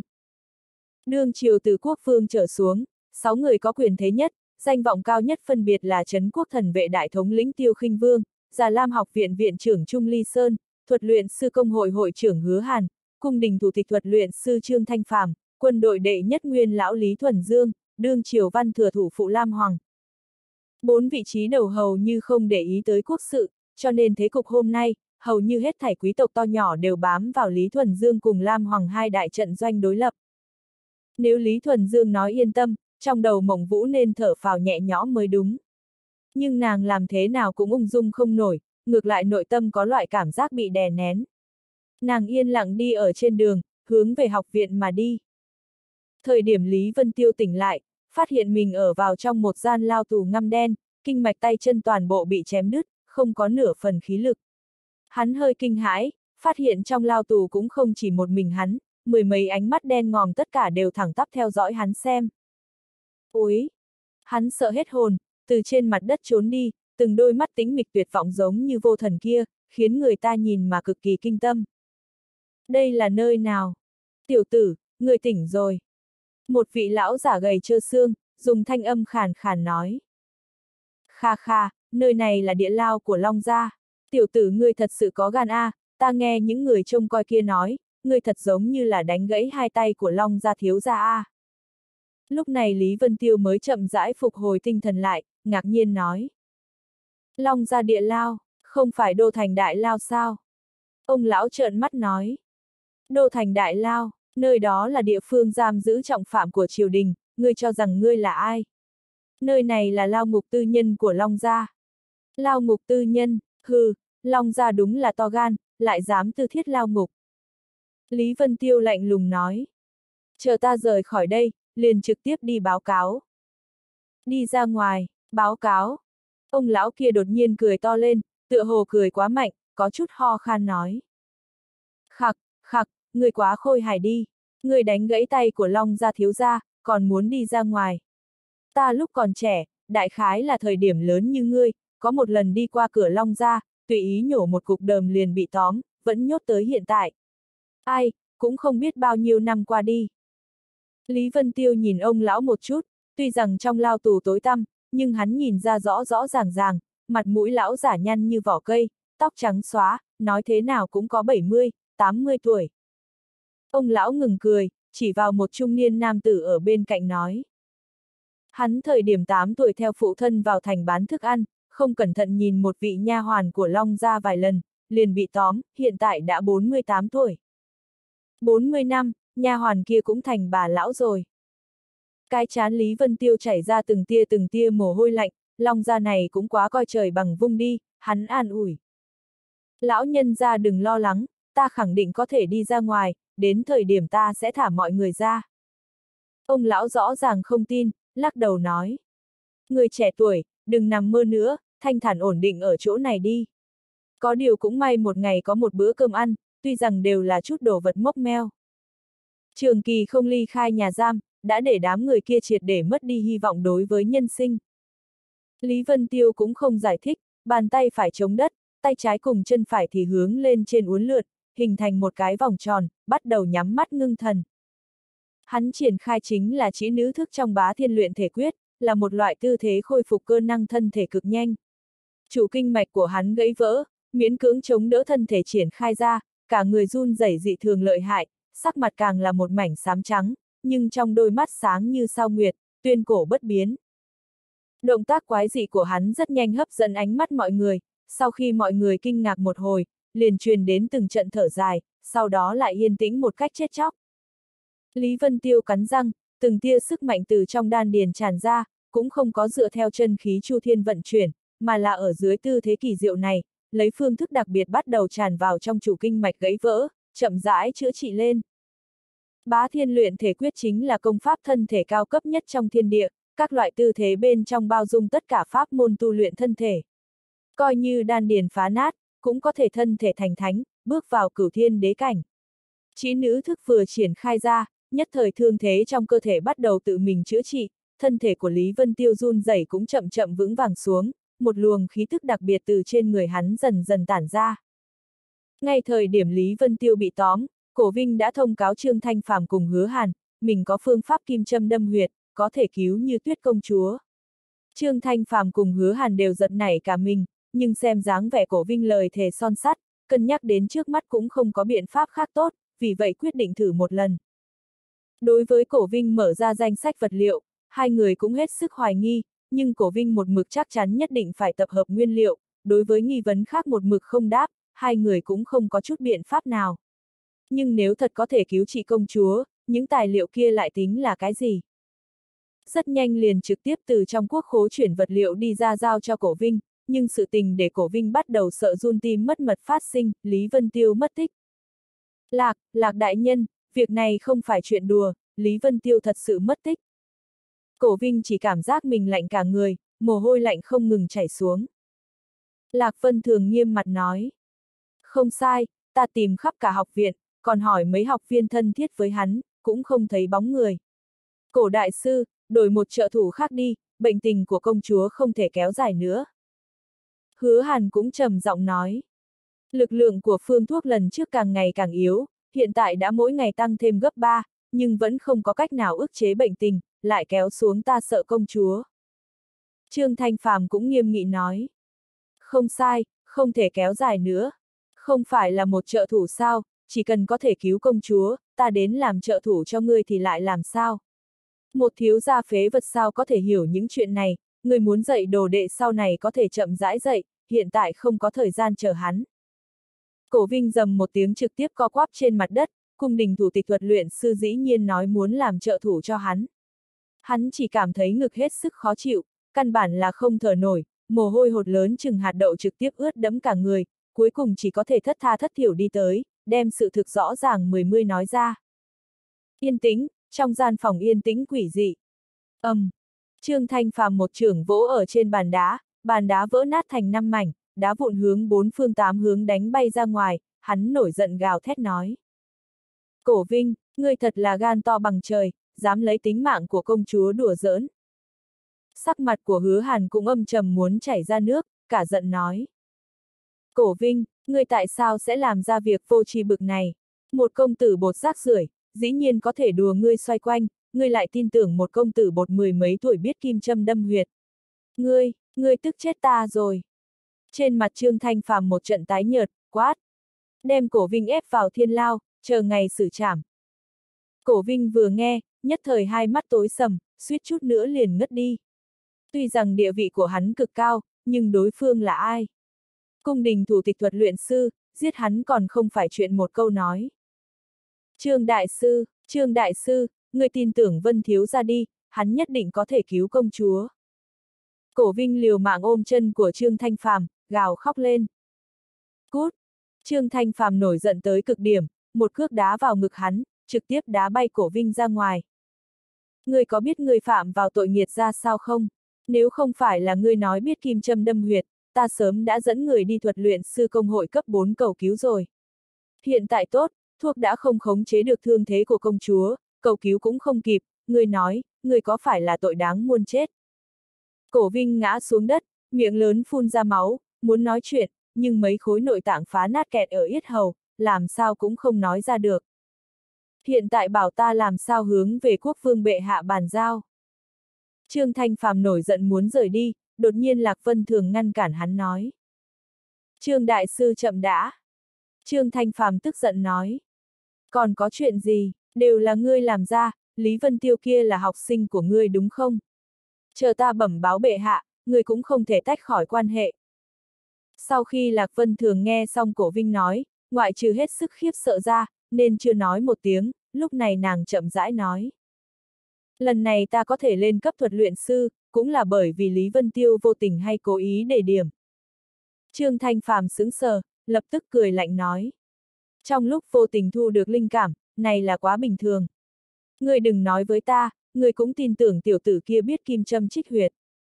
Lạc Vân thường lắc đầu nói. Hắn có thể kim châm trích huyệt hay không ta không biết, thế nhưng trước đây không lâu lúc học viên giao đấu, hắn một chiêu đánh bại trưởng tôn Lam Huyền của tể tướng đại nhân. Vậy thì như thế nào? Trương Thanh Phàm cảm giác mình kiên trì sắp đến cực hạn, nếu đối phương không phải là thống lĩnh Trấn quốc thần vệ, hắn đã sớm tức giận. Hứa Hàn đột nhiên nói. Ồ, làm sao có khả năng? Tiểu tử kia không phải nghe đồn kinh mạch không thông, không cách nào tu luyện sao? Ta nhớ Lam Huyền thật giống như là thiên tài của già Lam học viện A. Lúc này Lạc Vân Thường mới nghiêm mặt nói. Không sai, hắn không chỉ là kinh mạch toàn thông, hơn nữa đánh bại Lam Huyền, sử dụng võ kỹ là phù sinh ấn. Phù sinh ấn. Lúc này Trương Thanh Phàm mới biến sắc, khiếp sợ nói. Phù sinh ấn, chẳng lẽ, chẳng lẽ hắn là truyền nhân của Dương Địch Đại Nhân? Lạc Vân Thường lắc đầu nói. Chuyện này ta không biết, nếu như hắn thực sự là truyền nhân của Dương Địch Đại Nhân, như vậy biết kim châm trích huyệt cũng là có khả năng. Hứa hàn liếc mắt nhìn cổ vinh ở trên đất không ngừng nôn ra máu, ngưng tiếng nói. Lúc trước Lương Văn Vũ đã nói với ta tình huống thân thể của tiểu tử này, nói kinh mạch bị hủy đoạn rất nhiều chỗ, là tuyệt đối không thể nối liền. Hiện tại hắn dĩ nhiên có thể đánh bại Lam Huyền, hơn nữa triển khai là phù sinh ấn, chuyện này.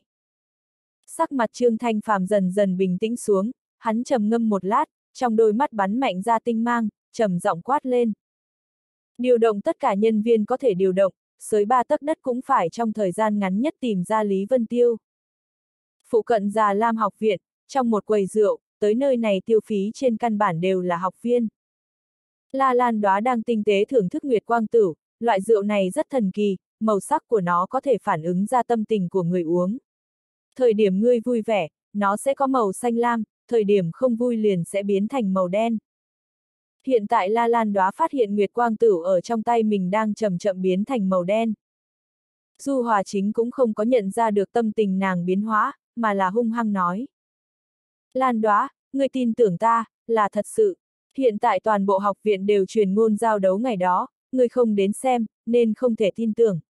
Đừng nói là Lâm Vũ, coi như là Bạch Thành Phong, sợ rằng cũng không phải một chiêu chi địch của hắn. Con! Một chén nguyệt quang Tử đen tuyền đập vào trên bàn, la lan đoá ném ra mấy ngân tệ hô. Tính tiền! Nàng lạnh lùng nhìn nguyệt quang Tử khó uống đến cực điểm trên mặt bàn, con người chậm rãi căng ra, lạnh lùng nói. Du học trưởng, ta nói mấy lần rồi, người nói những thứ này ta không muốn nghe. Còn có nữa là, sau này ngươi đừng đến phiền ta. Hiện tại ta đang bị khốn trên bình cảnh, mấy ngày nay phải bế quan. Tạm biệt. Nàng không để ý Du Hòa Chính ngăn cản, liền một mình rời đi tử quán. Ngoá, Trang Thanh Thuần cái gì? Du Hòa Chính tức giận uống một ly rượu, nổi giận mắng. Một kỹ nữ không biết bị Lâm Vũ chơi qua bao nhiêu lần, dám ở trước mặt lão tử mỗi ngày Trang Thanh Thuần, theo đuổi thời gian dài như vậy, ngay cả chạm cũng không cho ta chạm thử, mẹ nó. Tiên sinh chào ngài, xin hỏi ngươi có cần lấy thêm nguyệt quang tử không? Một thanh âm dễ nghe truyền đến, mộng vũ liếc mắt nhìn cái chén không của Du Hòa Chính, cực lực chào hàng rượu của mình nói. Có thể rất hợp khẩu vị của ngài. Hả? Du Hòa Chính nhìn mộng vũ một chút, sau khi ngẩn ngơ lập tức lướt qua vẻ khác lạ, cười đùa nói. Chúng ta thật giống như nơi nào gặp qua rồi. Đúng rồi, người cũng là học viên sơ cấp ban A. Những mỹ nữ trong sơ cấp ban kia ta đều có ấn tượng, đúng rồi, người gọi mộng vũ. Du Hòa Chính nhớ ra tên của nàng, nhất thời cao hứng lên. Ta tên Du Hòa Chính, ngươi gọi ta Du học trưởng là được. Đúng rồi, tại sao ngươi lại ở chỗ này bán rượu? Cha cha, bán rượu, quá lãng phí đi. Hắn nhìn chằm chằm khuôn mặt tú lệ của mộng vũ, không nhịn được nuốt nước miếng một cái, hơn nữa âm thanh rất lớn. Trong mắt mộng vũ lóe ra một tia căm ghét, cố nén buồn nôn, cười nói. Du học trưởng, vậy ngài có muốn tới một chén hay không? Nguyệt Quang Tử, mới sáu ngân tệ một chén. Du Hòa chính thưởng thức chén không trong tay, nở nụ cười. Nguyệt Quang Tử, sáu ngân tệ, ha ha, con mẹ nó Nguyệt Quang Tử, giá thật rẻ. Mộng Vũ, người xinh đẹp như vậy, đừng ở chỗ này làm những việc kia. Làm bạn gái của ta đi, ta mỗi tháng cố định cho ngươi 100 kim tệ, thế nào? Tay hắn hướng khuôn mặt của mộng vũ sờ soạng. Đùng! Mộng vũ lửa giận ngút trời, một trưởng vỗ bay cánh tay của hắn, lạnh lùng nói. Du học trưởng, xin tự trọng. Nàng buồn bực liền muốn rời khỏi. Muốn đi. Du hòa chính vốn là bị la lan đóa kích thích, thêm vào uống mấy ly rượu, hiện tại thấy một nữ tử bán rượu cũng dám từ chối mình, nhất thời lửa giận dâng lên, quát. Đứng lại, ngày hôm nay lão tử chính là muốn ngươi, ngươi còn dám không theo. Tiếng nói của hắn rất lớn, nhất thời đưa tới tất cả mọi người trong quầy rượu ngạc nhiên, dồn dập quay đầu nhìn lại. Mộng vũ đầu óc phát mộng, dĩ nhiên có người vô liêm sỉ như thế, ở trước mặt mọi người, không chỉ đùa giỡn nữ tử, còn lớn tiếng như thế, lẽ thẳng khí hùng như vậy, nàng tức giận đến cả người run, cũng không biết nên nói cái gì. Ai, đi vào uống vài chén đi, tìm hơn nửa ngày, một chút tin tức cũng không có. Thật không biết Vân Thiếu chết đi đâu rồi. Trần Trân cùng Hàn Bách từ cửa đi vào, hai người đều sững sờ. Trần Trân kinh ngạc nói. Xảy ra chuyện gì, yên tĩnh như vậy, nơi này không phải quán rượu sao? Lẽ nào đi nhầm địa phương? Hàn Bách cũng liếc mắt liền thấy Du Hòa Chính cùng Mộng Vũ, nhất thời kêu lên. Ồ, xem bên kia, cái kia không phải tùy tùng của La Lan đóa sao? Còn có nữ nhân này, oa, là nữ nhân ngày đó hãm hại Vân Thiếu. Trần chân cũng đột nhiên nhảy lên, nhanh chân đi tới nói.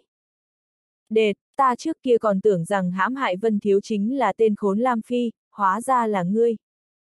Du Hòa chính biến sắc, cả giận nói. Hai người các ngươi là người nào? Ta không quen biết các ngươi. Thần thức của hắn khe quét, phát hiện thực lực của hai người đều cực yếu, nhất thời yên tâm, lạnh giọng quát lên. Đếm ba tiếng cút cho ta. Hàn Bách cười lạnh nói. Thật là tự đại a, chúng ta là ai ngươi không cần biết. Nhưng Vân Thiếu ngươi khẳng định biết a. À. La Lan đó là nữ nhân Vân Thiếu coi trọng, tiểu tử ngươi cũng dám cua. Thật là không muốn sống. Trong lòng Du Hòa chính nhảy một cái, dĩ nhiên là người của Lý Vân Tiêu. Trước đây hắn đối với công tử bột kia là xem thường chẳng nhìn, nhưng hiện tại hoàn toàn không có phần can đảm này. Trần chân càng là đập bàn một cái, quát lên. Vẫn không cùng ngươi tính toán, không có nghĩa là không so đo với ngươi. Nơi này không phải học viện, có tin ta gọi một đám người lập tức làm thịt ngươi hay không? Sắc mặt Du Hòa chính thay đổi mấy lần, hắn biết những người đi theo bên cạnh Lý Vân Tiêu, đều là con cháu trọng thần của vương quốc. Hiện tại không ở trong học viện, đám công tử bột này ở thủ đô là sự tình gì cũng dám làm. Hắn cố ý lộ ra một tia xem thường, cao giọng nói. Học trường ta không rảnh hồ đồ với những công tử bột các ngươi, ta phải đi về tu luyện. Nữ nhân này ta cũng không quen biết, các ngươi đừng hòng vụ oan trên đầu ta. Hắn ngẩng đầu lên thật cao, nghênh ngang đi ra tử quán. Thiết, nếu không phải nhân thủ đều đi ra ngoài tìm người, ngày hôm nay liền sẽ cho hắn quỷ đi ra ngoài. Trần chân lộ ra vẻ khinh bỉ. Hàn Bách phất tay nói. Không nên để ý loại rác rưởi này. Mẹ nó, người nói Vân Thiếu sẽ không xảy ra chuyện gì chứ. Thuật luyện sư công hội cùng Trấn quốc thần vệ đều phát động rồi, coi như là một con kiến ở trong thủ đô cũng có thể bị tìm ra rồi mới đúng. Trần chân cau mày, than thở. Trời mới biết, khoảng thời gian này Vân Thiếu biến hóa quá to lớn, ta cũng có chút không quen. Hắn đột nhiên nhìn thấy mộng vũ còn ở bên cạnh, lạnh lùng nói.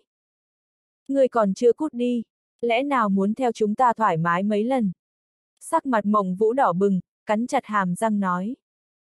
Các ngươi mới vừa nói Vân Thiếu, có phải là Lý Vân Tiêu? Trần chân cả giận nói. Còn không phải là Vân Thiếu bị ngươi hãm hại, ngóa, lần này sẽ không phải cũng là bị ngươi hãm hại chết rồi chứ? Mộng Vũ ngẩn ngơ, tự lẩm bẩm. Làm sao sẽ như vậy? Đã qua ba ngày, lẽ nào Lý Gia vẫn không có cứu hắn ra? Cái gì?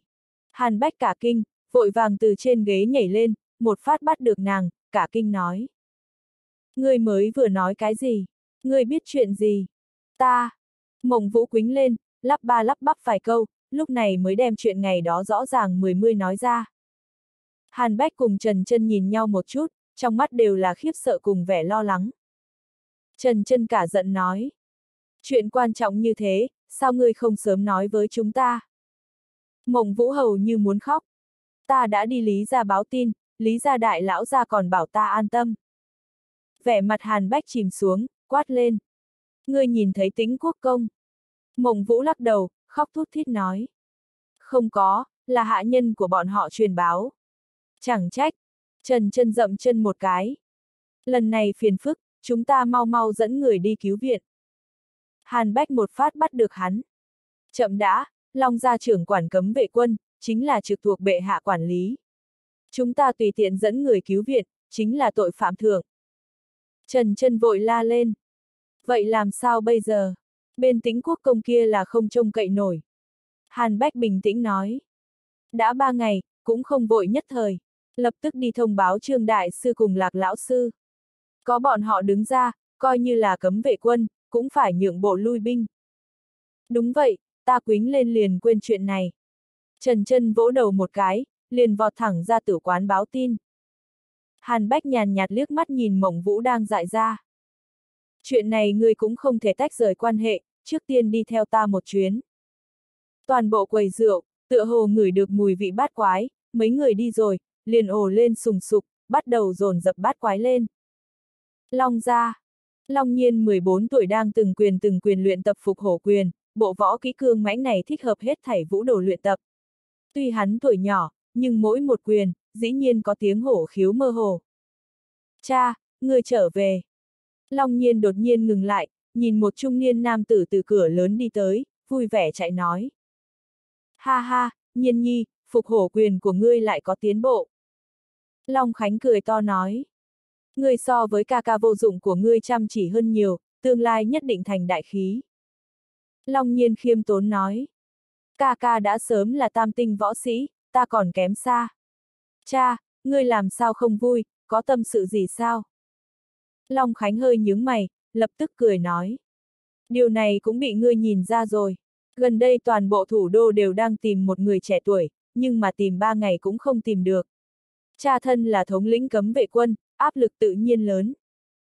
Long nhiên hiếu kỳ nói. Là người nào a? À, mọi người tìm hắn làm gì? Long Khánh than thở.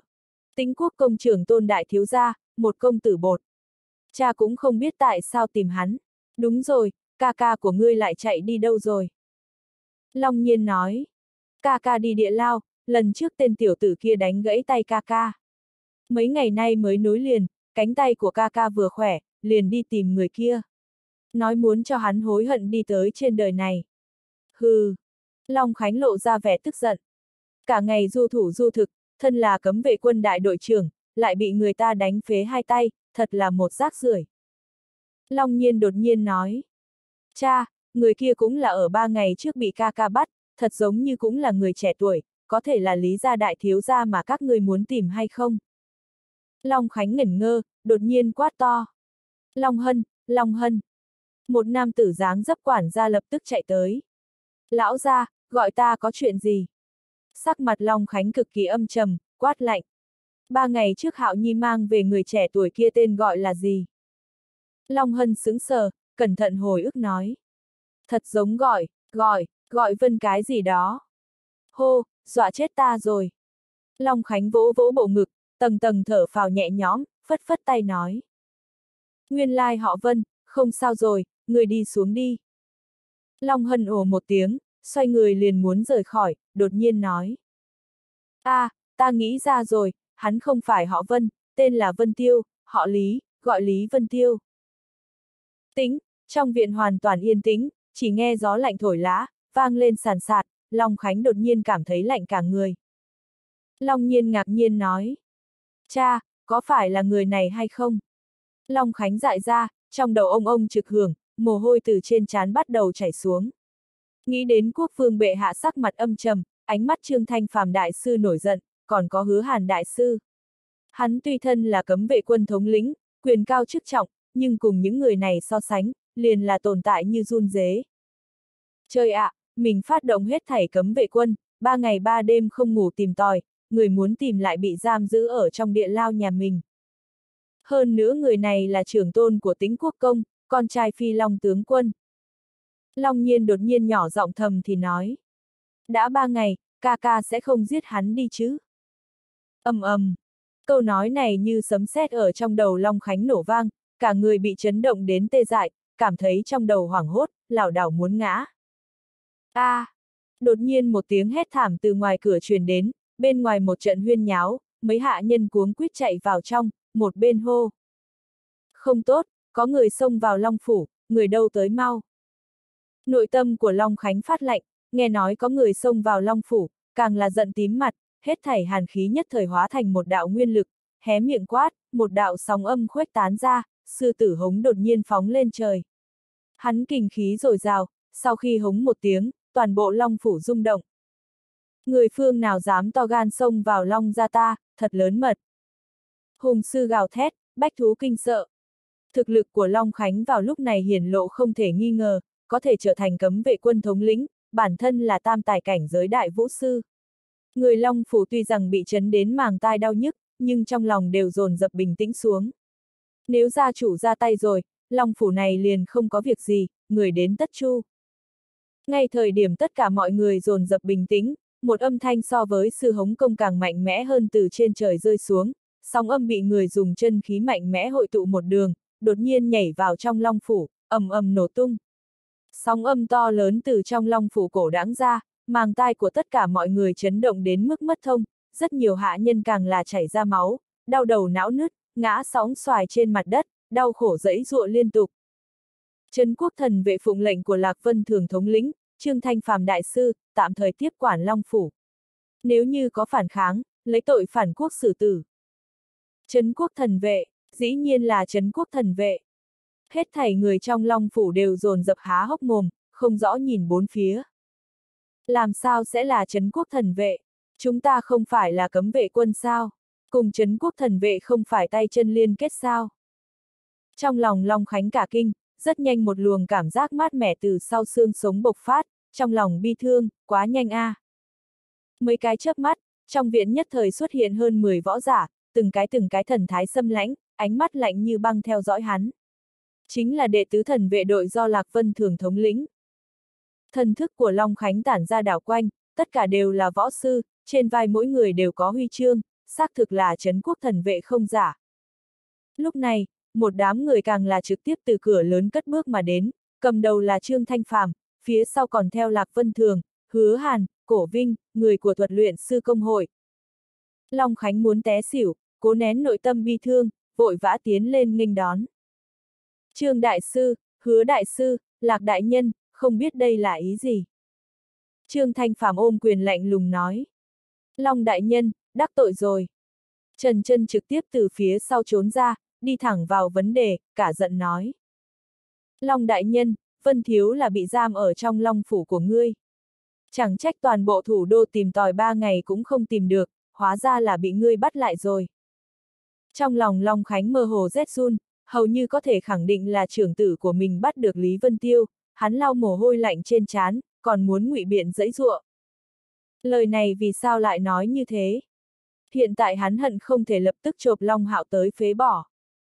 Lạc Vân thường từ tốn nói. Mộng Vũ, người đem tình huống lúc đó nói một lần. Mộng Vũ khiếp đảm từ trong đám người đi ra, nhiều đại nhân vật như vậy, nàng cẩn thận đem chuyện ngày đó từng cái giảng giải lên. Kể cả chuyện mình bị Tuấn Lương đùa giỡn, Lý Vân Tiêu ra tay, cuối cùng bị Trấn Quốc Thần vệ kích thương, sau đó bị Long Hạo bắt đi.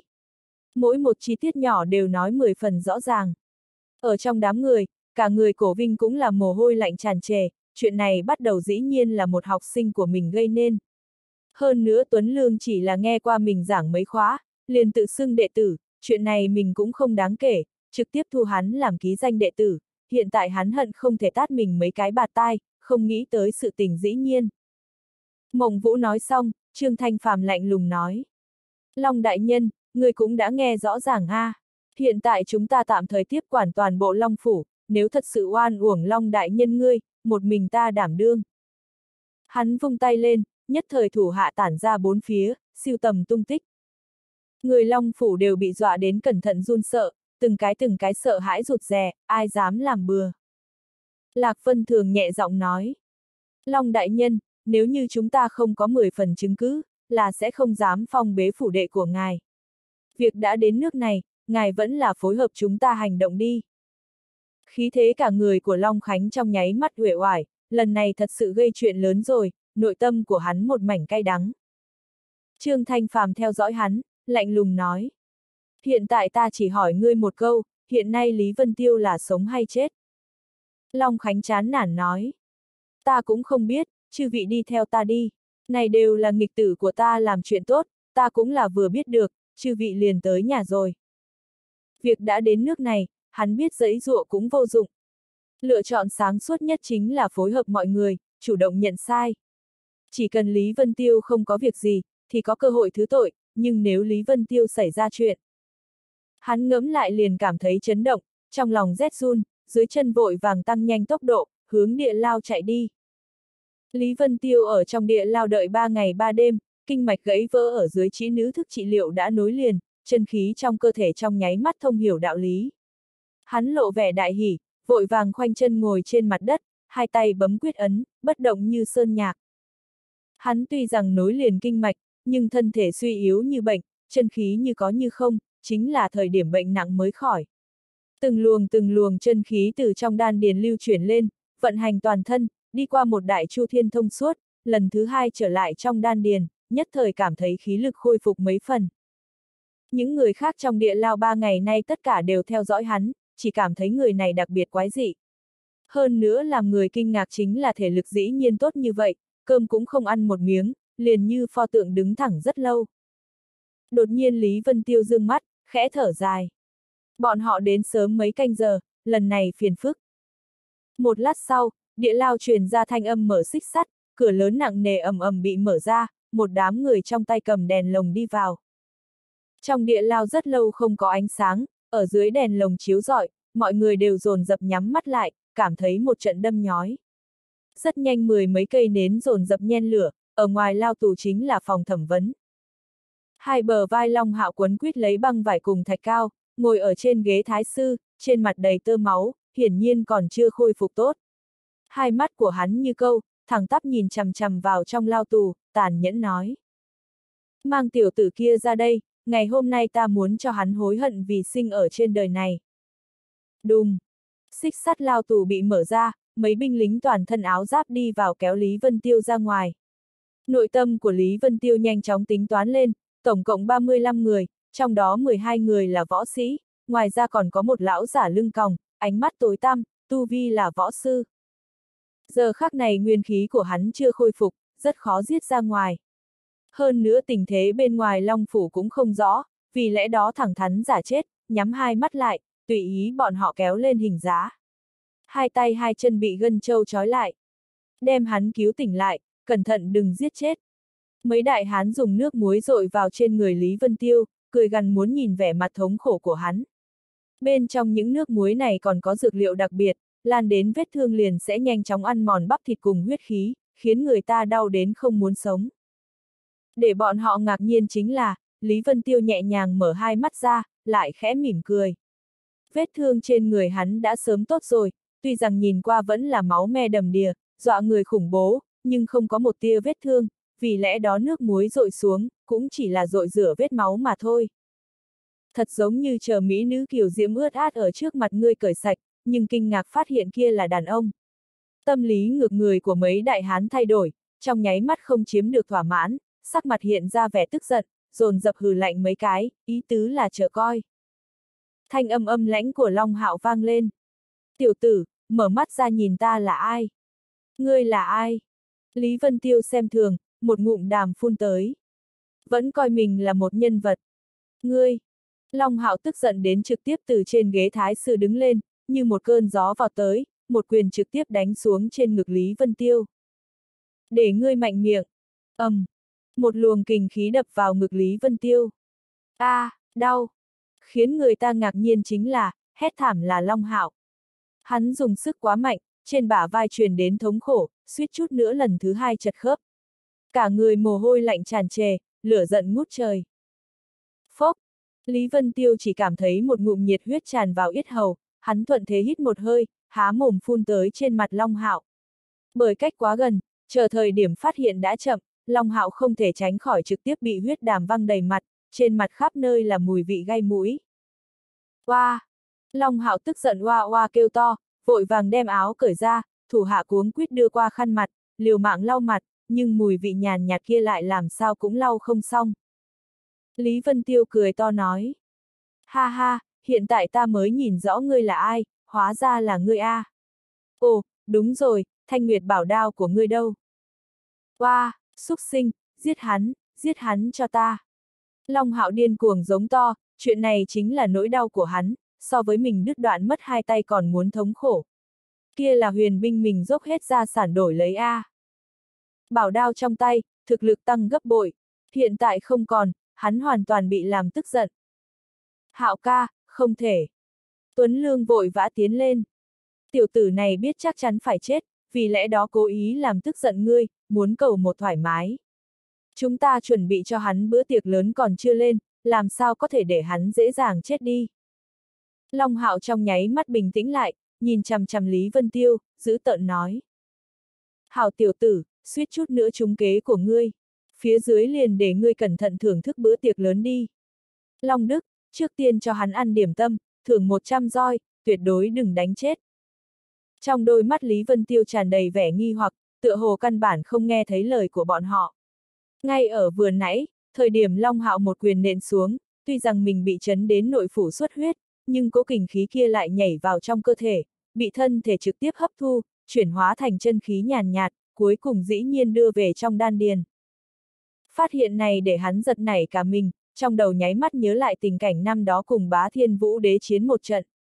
Vì tranh cướp bài vị trên thiên địa phong vân bảng, hai người đánh mấy ngày mấy đêm, giết đến trời long đất lở, toàn bộ thánh vực gần như tan vỡ, cuối cùng bởi vì thân thể bá thiên vũ đế mạnh mẽ, dĩ nhiên có thể mạnh mẽ chống đỡ chân khí của hắn, càng về sau ưu thế càng trở nên rõ ràng, lúc này mới thất bại. Hiện tại trong đầu tâm niệm thay đổi thật nhanh, hắn trong nháy mắt liền hiểu được. thân thể bá thiên không đơn thuần chỉ là có thể mạnh mẽ chống đỡ chân khí đơn giản như vậy, còn có thể hấp thu kình khí đối phương biến thành của bản thân. Trời ạ, à, thế gian tại sao có thể có công pháp biến thái như vậy?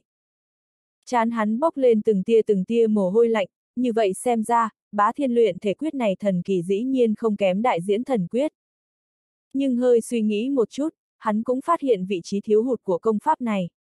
Tuy rằng có thể hấp thu kình khí của đối phương, nhưng dưới tình huống phải chịu một đòn của đối phương, để chân khí đánh vào trong cơ thể, mới có thể tiêu hóa hấp thu.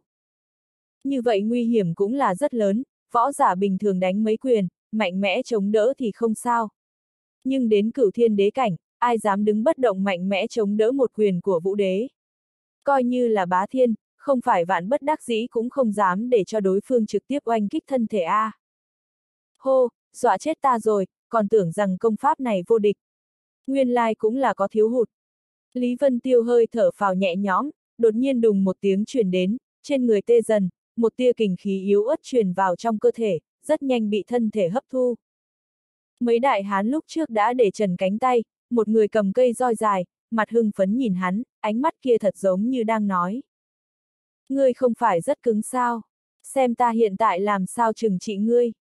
Trên trường tiên còn có gai nhọn, một roi xuống liền đánh nát ra thịt.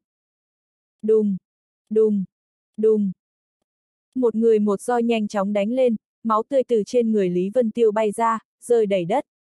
Đau đớn từ toàn thân truyền đến, trên roi này còn dính nước thuốc ăn mòn vết thương, không chỉ đau, da rẻ toàn thân lấy tốc độ mà mắt thường cũng có thể thấy được cấp tốc thối giữa. Chi?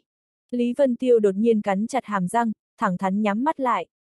Từng tia kình khí từ trên roi ra truyền đến, tuy rằng yếu ớt, nhưng cũng liên miên không dứt, rất nhanh toàn bộ hút vào trong đan điền, bắt đầu yên lặng khôi phục chân khí.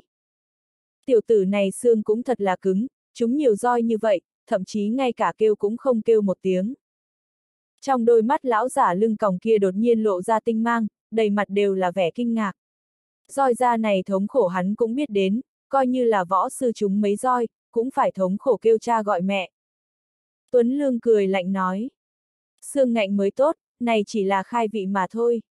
Bằng không làm mấy lần liền xin tha hoặc chết rồi, vậy còn có ý nghĩa gì? Vậy chúng ta chẳng phải là chuẩn bị không? Lão giả nghe vậy cũng khẽ gật đầu, im lặng không lên tiếng. Mấy tên đại hán kia nghe bọn họ đối thoại, trong mắt nhất thời bốc lên lửa giận, Lý Vân Tiêu không một tiếng động, rõ ràng chính là đang cười nhạo bọn họ không dùng sức, đánh không đau, nhất thời liều mạng đánh xuống, hầu như mỗi một roi, đều muốn dẫn ra một tảng lớn huyết nhục. Sau trăm roi, cả người Lý Vân Tiêu hoàn toàn là máu thịt be bét, trên người không còn một khối da rẻ hoàn hảo. Mấy đại hán thở hổn hển, chân khí tiêu hao cực độ. Còn kém một chút xíu. Trong lòng Lý Vân Tiêu yên lặng nói. Còn kém một chút xíu là có thể hoàn toàn khôi phục lại nhị tinh đỉnh cao. Hắn đột nhiên mở hai mắt ra, châm chọc cười to nói.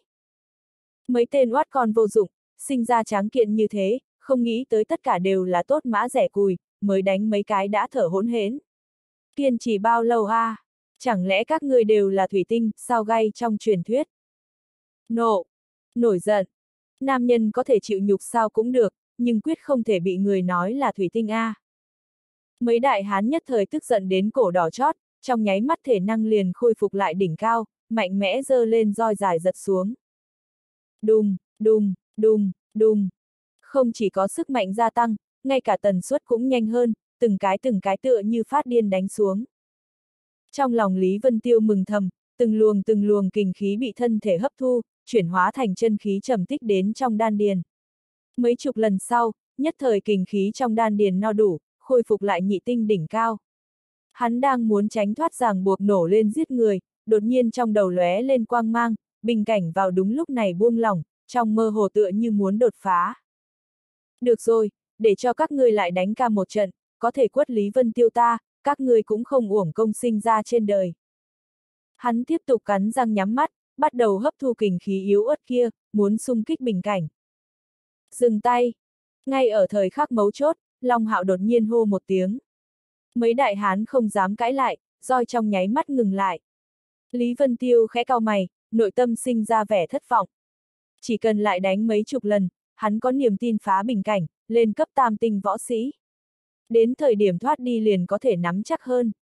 Long hạo lạnh lùng nói. Ta thực sự là coi khinh ngươi, dĩ nhiên không kêu một tiếng. Hừ hừ, biểu hiện tốt như vậy, phía dưới ta liền cho ngươi bữa tiệc lớn, để ngươi cẩn thận thoải mái một phen, ha ha. Theo hắn cười to, trên mặt Tuấn Lương cũng lộ ra nụ cười thâm độc, vỗ tay một cái, nhất thời một đại hán hai tay trình lên một bao thuốc. Lý Vân Tiêu chậm rãi dương mắt, lạnh lùng nhìn. Giờ khắc này hắn bất cứ lúc nào cũng có thể tránh thoát ràng buộc nổi lên giết người, nhưng thân thể hư hao quá mức nghiêm trọng, trong sân còn có một tên võ sư. Hắn cũng không chắc chắn có thể trực tiếp khống chế toàn cục, vì lẽ đó vẫn như cũ lẳng lặng chờ cơ hội, tiện thể muốn xem bọn họ dở trò quỷ gì dáng dấp của Tuấn Lương giữ tợn không nói ra được, vỗ bao thuốc một cái, cười lạnh nói. Bao dược phấn này là ta tỉ mỉ phối chế thái giám cũng điên cuồng, coi như là thái giám ăn, cũng có thể một trụ hoàn dương, khiến người ta túy tiên muốn chết. Hắn chỉ vào hai tên đại hán cầm roi dài trong tay, lạnh lùng nói. Các ngươi lại đây. Hai tên đại hán không biết chuyện gì, liếc nhau một cái liền đi tới. Tuấn Lương nhẹ nhàng mở bao dược phấn, ngón trỏ khẽ gảy, nhất thời một đạo bột phấn màu đỏ bay ra, hai tên đại hán trực tiếp hút vào trong lỗ mũi, làm bọn hắn ho khan một hồi. Mấy giây sau, trong đôi mắt hai tên đại hán này bắt đầu xuất hiện vẻ mê ly, da rẻ màu đồng cổ cường tráng dần dần hiện ra phấn hồng lả lướt, trong miệng hai người bắt đầu phát sinh từng trận mộng ngữ, tay không ngừng ở trên người sờ tới sờ lui, một bầu không khí quái dị truyền ra. Ngạch, ngạch, hai tên đại hán rất nhanh ôm nhau, nhiệt liệt hôn môi, các loại động tác càng ngày càng khó coi. Qua, wow, qua, wow. tất cả mọi người đều buồn nôn, dồn dập cúi người xuống nôn mửa, ngay cả Long Hạo cũng nhìn ra một trận buồn nôn, vội vàng phất tay một cái nói. Đừng thí nghiệm, mau mau cho hắn ăn đi. Tuấn Lương cười gần liếm môi một cái, từng bước một đi tới chỗ Lý Vân Tiêu. Vừa nãy bọn họ chỉ là dùng chút ít mà thôi, một bao này tất cả đều là của ngươi. Wow! Lý Vân Tiêu cũng không chịu được, động tác của hai đại hán kia càng lúc càng lớn, hắn ngay cả mật cũng trực tiếp phun ra ngoài, trong đôi mắt tuôn ra ý sát phạt mãnh liệt. Một cảm giác nổi da gà trong nháy mắt lan tràn toàn thân, thân thể kịch liệt rung động một cái. Đột nhiên một luồng lực lượng không rõ ràng từ trong đan điền điên cuồng tuôn ra, nhảy vào kỳ kinh bách mạch quanh thân, hết thảy huyệt đạo trong nháy mắt mở ra, chân khí vận chuyển một vòng, lần thứ hai hội tụ trong đan điền minh cảnh chỉ kém chút xíu rốt cục trong cơn buồn nôn đột phá. Biến thái, chết. Lý Vân Tiêu hét lớn một tiếng, nguyên khí trên người trong nháy mắt từ toàn thân bộc phát ra, gần châu giảng buộc tứ chi đứt đoạn. Thân hình hắn lóe lên, song trưởng phất ra, một luồng kinh khí tuyệt cường trùng kích ra, bắn vào dược phấn trong tay Tuấn Lương. Oanh! Kinh khí nổ tung, dược phấn kia trong nháy mắt bay đầy trời, một mảnh là lướt ửng đỏ, ở dưới trưởng phong thổi về phía đám người Long Hạo. Mọi người từng cái trúng chiêu, toàn bộ dính lên bột phấn. A! À, Long Hạo kinh hãi đến biến sắc, vội vàng kéo lấy Tuấn Lương. Thuốc giải, mau lấy ra thuốc giải. Tuấn Lương cũng văng trúng thuốc bột vào mặt, hai mắt bắt đầu xuất hiện mê huyễn, âm thanh của hắn giống như mộng ngữ bắt đầu vang lên. Ngạch, ngạch, giải, thuốc giải, không có giải dược. Hạo ca, đến đây đi, đến điên cuồng một chút cũng không sao. Điên cuồng con mẹ ngươi a. À. Hai mắt Long Hạo phun lửa, hét ầm lên, một cước toàn lực đá vào trước ngực Tuấn Lương. Tuấn Lương phun ra một ngụm máu, cả người bay ra ngoài, ngã xuống đất sinh tử không biết. Mã bá, làm sao bây giờ? Trong lòng Long Hạo lạnh cả người, trước mắt mười mấy người kia đã bắt đầu từng cái từng cái ánh mắt mê ly, giận dữ hét. Đều là hắn, đều là hắn, mã bá, mau mau giết hắn. Long mã kia cũng kinh hãi không thôi, tuy rằng hắn đúng lúc dùng kình khí ngăn trở bột phấn, nhưng cũng có không ít dính ở trên người, một loại cảm giác quái dị rót vào trong da, hắn ngơ ngác, vội vàng dùng chân khí ngăn chặn dược lực, giận dữ hét. Tiểu tử, muốn chết. Long mã đang muốn nổi lên, đột nhiên bóng người trước mắt lóe lên, Lý Vân Tiêu đã đi đầu ra tay, song quyền đánh xuống. Hừ, chỉ là võ sĩ, cũng dám ở trước mặt ta làm càn. Hắn nổi giận cổ động song quyền, bắp thịt khô quát trên cánh tay đột nhiên liên tiếp nhô lên, hai cánh tay thô như rễ cây, đang muốn đấm tới. Đột nhiên một tiếng hử lạnh truyền đến. Càn khôn chấn hồn, yêu nguyệt. Hai mắt của Lý Vân Tiêu bỗng trở nên quỷ dị, con người màu đen trong nháy mắt uốn lượn xoay tròn, hóa thành trăng lưỡi liềm đỏ như màu máu, như là một không gian vô tận khủng bố. A! À, Long mã trong nháy mắt thất thần, cả người run rẩy, nhưng lập tức tỉnh lại, bỗng nhiên từ trên cánh tay truyền đến đau đớn. Lý Vân Tiêu đã hóa quyền thành chảo, mười ngón mạnh mẽ đâm vào hai vai của hắn, một chảo ập xuống, nhất thời hai cánh tay giống như đao nhọn, cốt nhục chia lìa. Hai con người của Lý Vân Tiêu trong nháy mắt khôi phục bình thường, nhưng sát ý lạnh lẽo không giảm chút nào, chỉ là sắc mặt thoáng trắng xám, hiển nhiên chiêu công kích linh hồn vừa nãy kia trực tiếp hao tổn tâm thần của hắn. Trong hai chảo máu thịt be bét, năm ngón tay hắn vồ lấy, như quyền hư nắm, gào thét đi ra ngoài, thừa dịp long mã thống khổ, song quyền đột nhiên đánh vào ngực hắn. ầm, um, long mã phun ra một ngụm máu tươi, mạnh mẽ bay ra, rơi trên mặt đất, toàn thân dính bột phấn của thái giám cũng điên cuồng. Ngay trong nháy mắt hắn rơi xuống đất, hơn 10 tên đại hán thần trí đã không rõ, lẫn nhau cắn xé cuồng chảo từng cái từng cái như nhìn thấy thịt nhào tới, rất nhanh long mã đã bị nhấn chìm trong núi thịt. Trong dạ dày Lý Vân Tiêu lần thứ hai quay cuồng lên, hắn cố nén buồn nôn, liếc mắt nhìn bốn phía một chút, chỉ thấy Long Hạo cũng ở trong thời gian ngắn ngủi kia tâm thần thất thủ, gia nhập vào trong nhục dục điên cuồng. Wow! Hắn không thể nhịn nổi nữa, óa ra mật xanh, cả người bay lên trời, cẩn thận tách ra bột phấn kia, nhảy tới bên bậc thang, lúc này mới thở phào nhẹ nhõm, hướng trên mà đi. Phía sau truyền đến vô số tiếng gào thét như dã thú, còn có tiếng kêu to tiêu hồn. Hắn lau mặt, đem quần áo đầy vết máu trên người ném xuống. Từ trong giới chỉ lấy ra một bộ đồ mới thay đổi, cả người thoải mái phấn chân tinh thần hơn nhiều. Nhưng bởi vì vừa nãy triển khai linh hồn công kích, hơn nữa nôn mửa quá nhiều, sắc mặt thoáng có vẻ trắng xám. Đùng! Hắn một trưởng vỗ bỏ khóa lớn trên cửa, hai phiến cửa lớn bằng sắt của địa lao ầm ầm mở ra, ánh mặt trời chiếu vào. Hả? Hắn trong nháy mắt dại ra. Ngoài cửa có mười mấy ánh mắt đồng dạng dại ra, từng cái từng cái thẳng tắp nhìn hắn. Lạc lão sư, Trần Côn, Hàn Béo, làm sao các ngươi đến rồi? Lý Vân Tiêu ngạc nhiên nói. Trần chân phản ứng đầu tiên, ngạc nhiên nói. Ngươi, ngươi không sao chứ? Lý Vân Tiêu mở hai tay ra, thản nhiên nói. Không có chuyện gì a, à, ta có thể có chuyện gì? Chuyện này. Trần chân không tin tưởng trên dưới đánh giá hắn một phen, lại hướng trong địa lao nhìn ngó. Làm sao có khả năng không có chuyện gì? Bên trong là thanh âm gì? Hắn hiếu kỳ đi vào bên trong. Long Khánh trong nháy mắt thở vào nhẹ nhõm, nội tâm cảm giác ung dung không nói ra được. Lý Vân Tiêu dĩ nhiên không có chuyện gì. Tuy rằng hắn cũng vạn phần kinh ngạc, nhưng này đối với hắn mà nói là kết quả tốt nhất. Oa! Sắc mặt Trần chân tái nhợt, nhanh chóng chạy ra ngoài, ở một bên kịch liệt nôn mửa. Trần chân, xảy ra chuyện gì? Hàn Bách cũng kinh ngạc đi vào trong. Mấy người Trương Thanh Phàm cũng có chút ngạc nhiên, bọn họ cũng đã làm tốt dự tính xấu nhất, không nghĩ tới Lý Vân Tiêu như sân vắng tản bộ, nhàn nhã tự nhiên, nơi nào có nửa phần không khỏe. Trương Thanh Phàm đánh giá hắn vài lần, nhất thời cảm thấy có loại khí chất bất phàm, kinh ngạc nói. Ngươi chính là Lý Vân Tiêu, bên trong là thanh âm gì? Hắn cũng hiếu kỳ, học Trần chân đi vào nhìn một chút. Ai nha, không có gì, Long Hạo công tử mời một đám thủ hạ ở bên trong chơi đùa a. À. Lý Vân Tiêu không đáng kể lắc lắc đầu, nhưng trong ánh mắt toát ra dáng vẻ hết sức buồn nôn, sắc mặt lần thứ hai có chút trắng bệch. Vẫn là không nên đi vào quấy rầy bọn họ. Ồ, dáng dấp của hắn lập tức làm tất cả mọi người hoài nghi, ai cũng không tin từng cái từng cái đi vào, muốn nhìn đến tột cùng là chuyện gì. Wow! Mười mấy người điên cuồng vọt ra, từng cái từng cái tất cả đều ngồi xổm ở hai bên từng ngụm từng ngụm nôn mửa, ngay cả Lạc Vân thường mấy lần mạnh mẽ đè xuống đồ vật trong dạ dày, nhưng cuối cùng không chống đỡ được, từng ngụm từng ngụm nôn mửa. Đám thuật luyện sư Trương Thanh Phàm càng là run cầm cập lấy ra các loại đan dược, giống như đậu đổ vào trong miệng, nhưng rất nhanh lại phun ra ngoài. Long Khánh cũng nôn mấy lần, nhưng trong đôi mắt tràn đầy vẻ lo lắng. Hắn mạnh mẽ ấn ngực, hít một hơi thật sâu, lần thứ hai chạy vào. Nhưng mấy giây sau, một trận nôn mửa truyền đến, hắn lần thứ hai chạy ra bên ngoài ói mửa.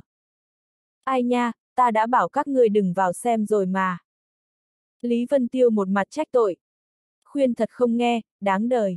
Long hạo công tử thưởng thức, không phải người bình thường có thể tiếp thu. Trần chân run cầm cập đứng dậy, sắc mặt trắng bệch. Vân Thiếu, thật ác tâm a. À. Sau khi Long Khánh nôn mửa chấn động, cả người tức giận run cầm cập lên, giận dữ hét.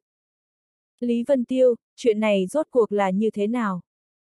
Hắn liếc mắt liền thấy ái tử của mình ở bên trong, tình cảnh chấn động bực này để hắn triệt để hỏng mất. Không nói cuối cùng kết quả làm sao, để cả đám người Trương Thanh Phàm nhìn thấy loại rèm pha này, ngày sau Long ra hắn còn có mặt mũi ở thủ đô đặt chân sao. Hắn hầu như muốn nổi điên, nếu không phải nhiều người ở đây như vậy, hắn nhất định sẽ đem Lý Vân Tiêu chém thành muôn mảnh, lấy cho chó ăn. Lý Vân Tiêu hừ lạnh một tiếng, ánh mắt dần dần lạnh xuống, hàn ý từ trên người hắn tản mát ra. Long đại nhân, quý công tử không nói một tiếng mời ta tới làm khách, ta còn muốn hỏi ngươi một chút là xảy ra chuyện gì đây này. Long Khánh cả kinh, trong ánh mắt lóe lên vẻ khác lạ, Lý Vân Tiêu chỉ là thiếu niên, biểu hiện ra thực lực ở tam tinh võ sĩ, nhưng lại cho hắn một loại cảm giác sâu không lường được. Thật giống như dù tự mình ra tay, cũng chưa chắc là đối thủ của hắn. Tại sao lại như vậy? Nội tâm Long Khánh an ủi mình nói. Nhất định là vừa nãy quá buồn nôn, vì lẽ đó cảm giác cũng sai lệch. Sắc mặt hắn phát lạnh, nghiêm nghị nói. Việc giữa ngươi cùng khuyển tử hiện tại ta còn không rõ ràng lắm, nhưng hiện tại ngươi bình yên vô sự đứng ở đây, mà khuyển tử, khuyển tử. Hắn nói đến phần sau, trong đôi mắt càng là muốn phun ra lửa. Sau ngày hôm nay, Long Hạo là không cách nào ở thủ đô lăn lộn. Khí thế trên người Lý Vân Tiêu tản ra, rất nhanh làm Trương Thanh Phàm cùng hứa hàn chú ý. Hai người đều là đại sư cấp thuật luyện sư, thần thức dị thường mẫn cảm, lập tức phát hiện Lý Vân Tiêu khác với tất cả mọi người, đều dồn dập lộ ra thần sắc kinh ngạc. Trương Thanh Phàm nuốt mấy viên đan dược, rốt cục ổn định buồn nôn, sắc mặt tái nhợt nói. Con trai của ngươi khẩu vị rất nặng, bất kể hắn làm sự tình gì. Lẽ nào tại Long Phủ của ngươi, còn nghe hắn hay sao? Long Khánh cũng sững sờ, đúng a, à, Lý Vân Tiêu này là bị bắt về, nào có bản lãnh đem bọn người Hạo Nhi đẩy ngã. Chẳng lẽ đây thực sự là sở thích của Hạo Nhi hay sao? Hắn nhất thời có chút há hốc mồm. Cổ Vinh cười lạnh nói. Hừ, nghe nói chuyện này là di truyền A. Vừa nãy thời điểm hắn đi vào, quả nhiên thấy đồ đệ của mình cũng ở bên trong, sớm đã sợ đến cả người đổ mồ hôi lạnh, chỉ lo đến thời điểm Lý Vân Tiêu tính sổ, vì vậy nhanh nhảy ra cho thấy cõi lòng.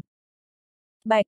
Nghe cổ Vinh nói, tất cả mọi người giống như điện giật rời xa Long Khánh, chỉ ít cách 3, 4 mét, đem Long Khánh cô lập ra, tất cả đều dùng ánh mắt quái dị theo dõi hắn. Sắc mặt Long Khánh trong nháy mắt trắng bệch, hết sức lúng túng một người ngốc đứng ở đó, chỉ vào cổ Vinh cả giận nói. Nói năng bậy bạ, ta đường đường là thống lĩnh cấm vệ quân, tam tài cảnh đại vũ sư, há có thể là Long Dương pha lê. Trương Thanh Phàm lạnh lùng nói. Bên trong cái nào không phải võ giả. Hắn không tiếp tục để ý tới Long Khánh, quay đầu nhìn về phía Lý Vân Tiêu, ánh mắt nhất thời nhu hòa lên. Ngươi chính là Lý Vân Tiêu. Lý Vân Tiêu khẽ gật đầu nói. Ngươi chính là Trương Thanh Phàm. Trương Thanh Phàm kinh ngạc nói. Ngươi biết ta. Lý Vân Tiêu nhẹ nhàng nở nụ cười. Bên trái là thuật luyện sư công hội hội trưởng Hứa Hàn, bên phải là Trấn Quốc thần vệ thống lĩnh Lạc Lão Sư, như vậy đi ở chính giữa, ngoại trừ bệ hạ ra, cũng chỉ có Trương Thanh Phàm hoặc là Tiêu khinh Vương, rất dễ đoán. Trương Thanh Phàm lộ ra ý cười, gật đầu khen. Người cùng nghe đồn quả nhiên có chút không giống, người biết kim châm chích huyệt. Lý Vân Tiêu cười hì hì. Thử một chút xem sao. Thử một chút xem. Trương Thanh Phàm nghiêm mặt, ngưng tiếng nói. Công chúa Điện Hạ Kim Chi Ngọc Diệp, nếu không có đầy đủ tự tin, há có thể cho ngươi tùy tiện thí châm. Lý Vân Tiêu vẫy vẫy tay, làm ra dáng vẻ bất đắc dĩ, cười nói. Không cho ta thí nghiệm, các ngươi còn có những biện pháp khác sao? Trương Thanh Phàm sững sờ, trầm tư vài giây, cất tiếng cười to nói. Được, vậy ngươi liền thử đi. Đột nhiên lời nói xoay chuyển, sắc mặt trầm xuống, lạnh lùng nói. Nếu cứu sống công chúa, sau đó tại Thanh Thủy Quốc, bất luận tình huống thế nào, cũng có thể bảo đảm tính mạng ngươi không lo. Nếu không cứu sống được, coi như là Lý Thuần Dương đứng ra, cũng không giữ được mạng của ngươi. Lời nói của hắn tựa hồ ám chỉ, sắc mặt của Lý Vân Tiêu hơi đổi, cười lạnh nói. Mệnh của ta, bất cứ lúc nào đều nắm giữ ở trong tay mình. Cổ Vinh thấy bầu không khí có chút lạnh, vội vàng nói. Đừng ở chỗ này dây dưa, công chúa điện hạ còn chờ thi châm. Lý Vân Tiêu liếc mắt nhìn mộng vũ, đột nhiên khóe miệng nở nụ cười. Lần trước ngươi hãm hại ta, lần này tìm người tới cứu ta, xem như là hòa nhau. Trên mặt mộng vũ đỏ chót, hận không thể tìm một cái lỗ để chui vào. Lý Vân Tiêu cười nói. Ta vừa vặn cần người trợ giúp, người đến giúp ta cứu chị công chúa đi. Mộng vũ vội vàng phất tay nói. Ta, không được không được, ta cái gì cũng không biết. Lý Vân Tiêu cười nói. Nói ngươi làm, không được cũng phải được. Hắn quay đầu đối với Trương Thanh Phàm nói. Trương Đại Sư, ta cần hai người trợ giúp, một là Mộng Vũ, một là Lạc Lão Sư. Còn thù lao để các nàng giúp đỡ, ta muốn ngươi chi trả thay ta. Trương Thanh Phàm sững sờ, lập tức gật đầu nói. Tất cả theo ngươi, tất cả mọi người đều nghe ngươi điều khiển. Trong lòng Lạc Vân thường âm thầm vui vẻ, cảm kích nhìn Lý Vân Tiêu một chút. Kim châm trích huyệt chính là phương pháp thi châm trong truyền thuyết, trên đại lục chỉ có số ít cao cấp thuật luyện sư mới bí mật nắm giữ. Có thể chứng kiến phương pháp đâm huyệt, bất kỳ một thuật luyện sư nào cũng sẽ không bỏ qua. Cổ Vinh vội vàng nói. Vân Thiếu, không phải nói để ta giúp đỡ sao? Lý Vân Tiêu sầm mặt lại. Lương Tuấn là đồ đệ của ngươi. Trong lòng cổ Vinh cảm thấy lạnh lẽo, thầm nói không xong, hắn lau mồ hôi lạnh nói. Trước đây là đồ đệ, có điều vừa nãy ta đã đem hắn trục xuất sư môn. Kỳ thực rất lâu trước ta liền không quản hắn, ngạch, là thật sự, đừng đi a Vân Thiếu, Vân Thiếu, người nghe ta nói, kỳ thực ta căn bản là không quen biết hắn, đừng, đừng đi a. Lầu 4 của thuật luyện sư công hội, trong một mật thất. Tần như tuyết thân mang quần áo màu trắng, nằm ở trên giường ngọc màu xanh nhạt, sắc mặt tái xanh, hoa văn màu đỏ sậm nằm dày đặc ở trên mặt, sinh cơ yếu ớt. Trương Thanh Phàm liếc mắt nhìn, sắc mặt càng khó coi mấy phần, trầm giọng nói. Tử thanh giường ngọc có thể thoáng áp chế bệnh tình của công chúa, nhưng hiển nhiên cũng đã đến cực hạn. Lý Vân Tiêu hơi thở dài một tiếng, thầm nói hồn lực của mình đẳng cấp quá thấp, bằng không đã sớm phát hiện công chúa là ngũ âm tuyệt mạch, cũng sẽ không kéo dài tới hiện tại. Hắn hơi phất phất tay nói. Các ngươi đều đi ra ngoài đi, Mộng Vũ cùng Lạc Vân Thường lưu lại. Lạc Vân Thường không nhịn được nói. Chuẩn bị một cái lều vải cùng 30 cây kim châm là có thể. Thật sự không cần đồ vật khác. Nàng hơi có chút sốt sáng nói. Lý Vân Tiêu, người thật sự có nắm chắc. Lý Vân Tiêu nâng cầm trầm ngưng. Trương Thanh Phạm thấy dáng vẻ này, khiến cho hắn căng thẳng vạn phần, ngưng tiếng nói. Lý Vân Tiêu, người thành thật nói cho ta, người có mấy phần chắc chắn. Nếu quá thấp, ta sẽ đi thông báo quốc phương bệ hạ. Lời nói của hắn rất rõ ràng, nếu như Lý Vân Tiêu không thành công, như vậy công chúa sẽ vẫn lạc. Trong lòng tất cả mọi người đều cảm giác nặng nề, đối với tình huống cũng không coi trọng. Dù sao tuổi của Lý Vân Tiêu quá nhỏ, mà kim châm trích huyệt không chỉ đối với sức khống chế của người thi châm yêu cầu cực cao, hơn nữa trình tự, thời cơ, cường độ đều không cho có nửa phần sai lầm. Chiếu bọn họ tính toán, có thể có 30% liền vạn hạnh. Lý Vân Tiêu thở dài một tiếng nói. Nếu như công chúa là thân nam nhi, ta mặt đối mặt thi châm cho hắn, có tự tin trăm phần trăm. Nhưng nàng là nữ tử, ta chỉ có thể cách lều vải, ở trong vòng 15 mét lâm không phi châm trích huyệt, hơn nữa vừa nãy ở Long Gia bị nhã hứng của hạo thiếu làm nôn mửa, hiện tại tinh thần còn có chút huệ oải, tổng hợp lại, đại khái khoảng chừng 90% A. Phi châm trích huyệt, ngươi nói với ta ngươi sẽ cách lều vải 15 mét lâm không phi châm trích huyệt. Trương Thanh phàm chặn một ngụm lão huyết ở dưới ngực, trong đầu vù vù một hồi. Nguyên lai like ngươi muốn chuẩn bị lều vải là vì lẩn tránh nam nữ chi hiềm. Mặt đối mặt trăm phần trăm, phi châm trích huyệt nắm chắc 90 phần trăm. Hứa hàn hít vào một ngụm khí lạnh, có chút hoảng hốt nói. Kim châm trích huyệt nguyên lai dễ dàng như vậy, ta còn tưởng rằng là thủ đoạn rất cao thâm A. Nhưng hắn vội lắc đầu nói. Không đúng, không đúng, trước đây ta từng nghe sư phụ nói, muốn thành công sử dụng kim châm trích huyệt, không có hồn lực của cấp 5 thuật luyện sư, hoặc là muôn vàn thủ pháp thử thách, là căn bản không thể thành công. Lạc Vân Thường cũng dại ra một hồi, nhất thời trên mặt trầm xuống, phẫn nộ quát. Ngươi coi ngươi là dương địch đại nhân sao, còn nắm chắc trăm phần trăm, còn lâm không phi châm. Hiện tại tính mạng của công chúa như ngàn cân treo sợi tóc, ngươi chăm chú một chút cho ta. Lý Vân Tiêu cười khổ nói. Ta đã rất chăm chú a, à, nếu biết tính mạng của như tuyết nha đầu đang như ngàn cân treo sợi tóc, các ngươi liền đừng quấy rầy ta. Hiện tại bắt đầu đi, mộng vũ, người đỡ công chúa là được, lạc lão sư, người giúp ta dựng lên lều vải. Trương Thanh Phàm một tay tóm lấy lều vải ném ra ngoài, phẫn nộ nói. Cách lều vải cái giám A, liền mặt đối mặt đi, công chúa là thân thể vạn kim, há có thể cho ngươi trò đùa. Con người của Lý Vân Tiêu mạnh mẽ lườm hắn một cái. Chính là bởi vì thân thể vạn kim, cho nên mới cách lều vải.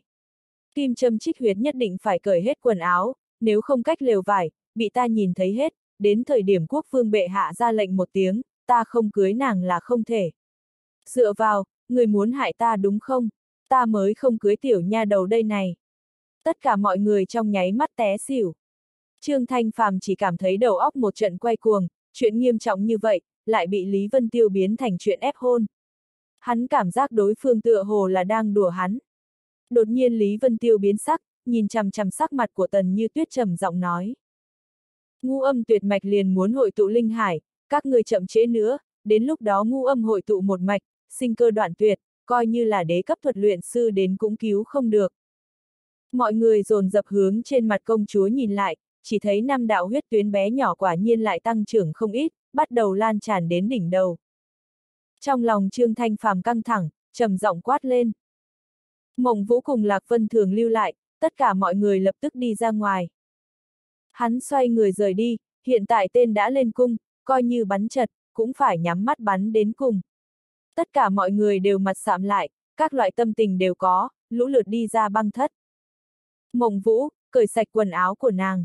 Lạc lão sư, dựng lều vải. Lý Vân Tiêu, nháo đủ rồi.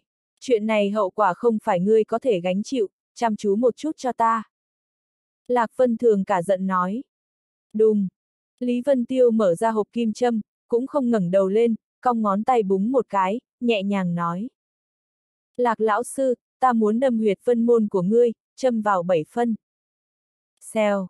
Tiếng xé gió vang lên, con người của Lạc Vân Thường đột nhiên mở lớn, một ánh vàng lấp lóe rồi biến mất, trên xương bả vai của mình như bị mũi cắn, một cây kim châm nhỏ như sợi tóc cắm ở trên vân môn huyệt của mình, đâm vào da thịt bảy phân, không có nửa điểm khác biệt. Trong nháy mắt Lạc Vân Thường dại ra, trong đôi mắt tất cả đều là vẻ kinh hãi, nội tâm càng là nhấc lên sóng gió động trời. Thiếp thân nội y của nàng chính là dùng kim ti tuyến may thành, đối với nguyên lực có tác dụng chống đỡ nhất định, kim châm xuyên thấu cần khí lực căn bản là không có cách khống chế, huống chi tinh chuẩn như vậy. Hơn nữa hắn là làm sao biết mình mặc kim ti y. Lý Vân Tiêu khẽ cười nói. Vừa nãy thời điểm ở bên ngoài, ta phát hiện phần gáy của lạc lão sư hơi có kim quang thoáng hiện, tất nhiên là mặc kim ti y, hiện tại cô gái đều lưu hành mặc cái này. Hơn nữa ba cái áo khoác, người ta cách xa nhau 6 mét, vì lẽ đó một châm này, ta dùng ba phần khí lực, sẽ không kém bao nhiêu. Trên mặt Lạc Vân Thường đỏ bừng, bị nam tử biết áo lót mình mặc, làm sao cũng bình tĩnh không nổi, tuy rằng trong lòng kinh ngạc không ngớt, nhưng vẫn như cũ nổi giận nói. Lý Vân Tiêu, người thật không giữ mồm giữ miệng. Lý Vân Tiêu cười to nói. Mau mau bắt đầu đi, kỳ thực lâm không phi châm ta mới chắc chắn, nếu cô gái nhỏ như tuyết này ở trước mặt ta cởi sạch, ta nơi nào bình tĩnh đến thi châm A. Người đừng xem cô nàng này nhỏ tuổi, kỳ thực muốn ngực có ngực, đã sớm phát dục. Được rồi. Trong mắt Lạc Vân thường xẹt qua một tia ngượng ngùng, triển khai lụa mỏng ở trong tay, nhất thời đem Lý Vân Tiêu cùng Tần Như Tuyết cô lập ra, nàng thoáng bình phục lại tâm tình, nhẹ giọng nói. Bắt đầu đi. Mộng Vũ cũng căng thẳng đem quần áo của Tần Như Tuyết mở ra, cẩn thận đỡ lấy. Xèo. Ánh vàng thoáng hiện, Lý Vân Tiêu bắt đầu phi châm, từng cây từng cây xuyên thấu lụa mỏng, bay vụt mà vào. Con người của Lạc Vân Thường đột nhiên mở lớn, toàn bộ tâm thần tăng cao đến đỉnh điểm, đem mỗi một động tác của Lý Vân Tiêu đều thanh thanh sợ sợ ấn vào trong đầu. Ở ngoài hầm băng, một đám người dị thường yên tĩnh, không người nào dám lớn tiếng thở dốc, bởi vì sắc mặt của Trương Thanh Phàm cực kỳ khó xem, không ai dám làm hắn càng thêm khó chịu. Hứa hàn rốt cục không nhịn được nói. Trương Lão, ngươi nhìn Lý Vân Tiêu có phải là hồ đồ hay không? Con người của Trương Thanh Phàm co rụt lại, trầm giọng nói. Đến một bước này, coi như là phân cũng phải ăn. Ánh mắt của hắn âm trầm như muốn giết người, lạnh lùng chuyển hướng cổ vinh. Sợ đến cả người cổ vinh run cầm cập, mồ hôi nhỏ trên đất tích đáp vang lên. Đùng! Cửa hầm băng đột nhiên mở ra, tất cả mọi người đều là trái tim nhảy vụt. Dồn dập quay đầu nhìn tới, chỉ thấy Lý Vân Tiêu thản nhiên đi ra. Xảy ra chuyện gì, còn chưa bắt đầu sao? Trương Thanh Phàm trầm giọng nói. Công chúa Điện Hạ đã không kéo nổi. Lý Vân Tiêu từ tốn nói. Xong rồi. Xong, xong rồi. Tất cả mọi người đều sững sờ, nhanh như vậy. Mới mấy phút, lừa người sao, trong lòng mỗi người đều hiện lên tâm tình bị lừa, cổ vinh càng là hai mắt nổ đom đóm, hầu như muốn ngất đi, hắn tựa hồ đã thấy tình cảnh mình bị Trương Thanh Phàm nổi giận ngũ mã phân thây. Lý Vân Tiêu, cầu đảm của ngươi thật lớn. Trương Thanh Phàm rốt cục bạo phát, lửa giận ngút trời, dâu tóc dựng ngược, cả người nổi khùng vọt tới. Lại dám lấy tính mạng của công chúa điện hạ đùa bỡn chúng ta, ngày hôm nay coi như là Lý Thuần Dương tới, ta cũng phải lột ra ngươi. Đùng! Một bóng người xinh đẹp lướt qua, Lạc Vân Thường xuất hiện ở trước người Lý Vân Tiêu, nhẹ nhàng đỡ lấy nắm đấm của Trương Thanh Phàm, nhẹ giọng nói. Trương Đại Sư, là thật sự được rồi, công chúa Điện Hạ đã không có việc gì. Yên tĩnh, tuyệt đối yên tĩnh. Trương Thanh Phàm cảm giác đầu óc của mình có chút phát mộng, ngạc nhiên nói. Thật, thật sự được rồi, Vân Thường, ngươi làm sao cũng thích nói giỡn. Bóng người hứa hàn lóe lên, trực tiếp chui vào trong hầm băng, rất nhanh một âm thanh khiếp sợ truyền đến. Dĩ nhiên, dĩ nhiên thật sự được rồi. Chi? Ngoài cửa, tất cả mọi người đều hít vào một ngụm khí lạnh, dồn dập ngơ ngác nhìn nhau, bệnh tình quấy nhiễu mọi người hơn 10 năm, dĩ nhiên bị thiếu niên này mấy phút liền quyết định. Cổ Vinh trong nháy mắt cảm giác mình hư thoát, toàn bộ thân thể mềm nhún, co quắp ngã trên mặt đất, tựa như bùn nhão. Nhưng nội tâm lại cực kỳ thoải mái, mạng nhỏ cuối cùng cũng coi như bảo vệ. Ánh mắt lạnh như băng của Trương Thanh Phàm nhìn Lý Vân Tiêu, trở nên hơi lúng túng lên, trên trán chảy ra từng tia từng tia mồ hôi, lắp bắp nói. Sao, làm sao sẽ nhanh như thế, lừa người khác cũng không nên lừa như vậy a. À? A, à, ha ha. Hắn mạnh mẽ nở nụ cười, nhưng thấy thế nào cũng rất không được tự nhiên. A à, con mẹ của ngươi. Lý Vân Tiêu mở miệng mắng. Tổng cộng chỉ là 18 châm, ta chém ngươi 18 đao cũng có thể trong chớp mắt thời gian, ngươi cảm thấy phải bao lâu? Ba ngày ba đêm, thiệt thòi ngươi vẫn là cung đình thủ tịch thuật luyện sư, thật là ngu đần. Chi? Tất cả mọi người đều hít vào một ngụm khí lạnh, Hàn Bách cùng Trần Chân cũng là miệng trương có thể nhét vào dưa hấu, ngoài cửa lần thứ hai dị thường yên tĩnh. Dám mắng cung đình thủ tịch thuật luyện sư ngu đần. Trời ạ, à, coi như là quốc vương bệ hạ cũng không dám a. À. Tiểu tử này điên rồi sao?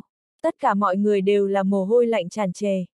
Cổ Vinh vừa thả tâm xuống trong nháy mắt lại bay đến cuống họng, hắn liều mạng dẫy dụa mấy lần, hận không thể lập tức bò lên, mau mau cùng Lý Vân Tiêu rũ sạch quan hệ, nội tâm điên cuồng hô, trời ạ, à, ta không quen biết tiểu tử này, tuyệt đối đừng tội liên đới đến ta a. À. Trương Thanh Phàm cũng dại ra, bị người mắng thành ngu đần, đó là chuyện bao nhiêu năm trước. Nhớ lúc đó mình còn là một trung cấp thuật luyện học đồ, mỗi lần thời điểm tinh luyện vật liệu cho sư phụ, thường thường sẽ bị gõ lên đầu mắng ngu đần. Bao nhiêu năm qua, mình chưa từng nghe qua lời mắng này. Chính hắn cũng cảm thấy kỳ quái, nguyên bản nên nổi giận mới phải, nhưng tại sao lại không có nửa phần tức giận, trái lại có chút thất thần. Ngươi, mắng ta ngu đần. Chẳng lẽ không đúng sao? Ừm. Lạc Vân Thường cũng là cả người mồ hôi lạnh, quát lên. Lý Vân Tiêu, không được nói bậy, mau mau xin lỗi Trương Đại Sư. Xin lỗi. Lý Vân Tiêu cười lạnh, tự mình đi ra ngoài, căn bản không để ý tới mọi người dáng dấp té xỉu. Chờ thời điểm hắn có bản lãnh lâm không phi châm tới tìm ta, ta có thể lo lắng chuyện xin lỗi. Tất cả mọi người đều là hai mặt nhìn nhau, câu nói như thế này hắn vẫn là dám nói a. À. Lạc Vân Thường cũng cảm thấy một trận té xỉu, vội vàng nói. Trương Đại Sư, xin lỗi. Trương Thanh Phàm có chút cụt hứng lắc lắc đầu, than thở. Người giỏi làm thầy, hắn nói không sai. Chúng nhân đều là một mảnh lặng lẽ, thế giới này là lấy thực lực nói chuyện. Trương Thanh Phàm thuyết pháp như thế, hiển nhiên là một loại thái độ chịu thua.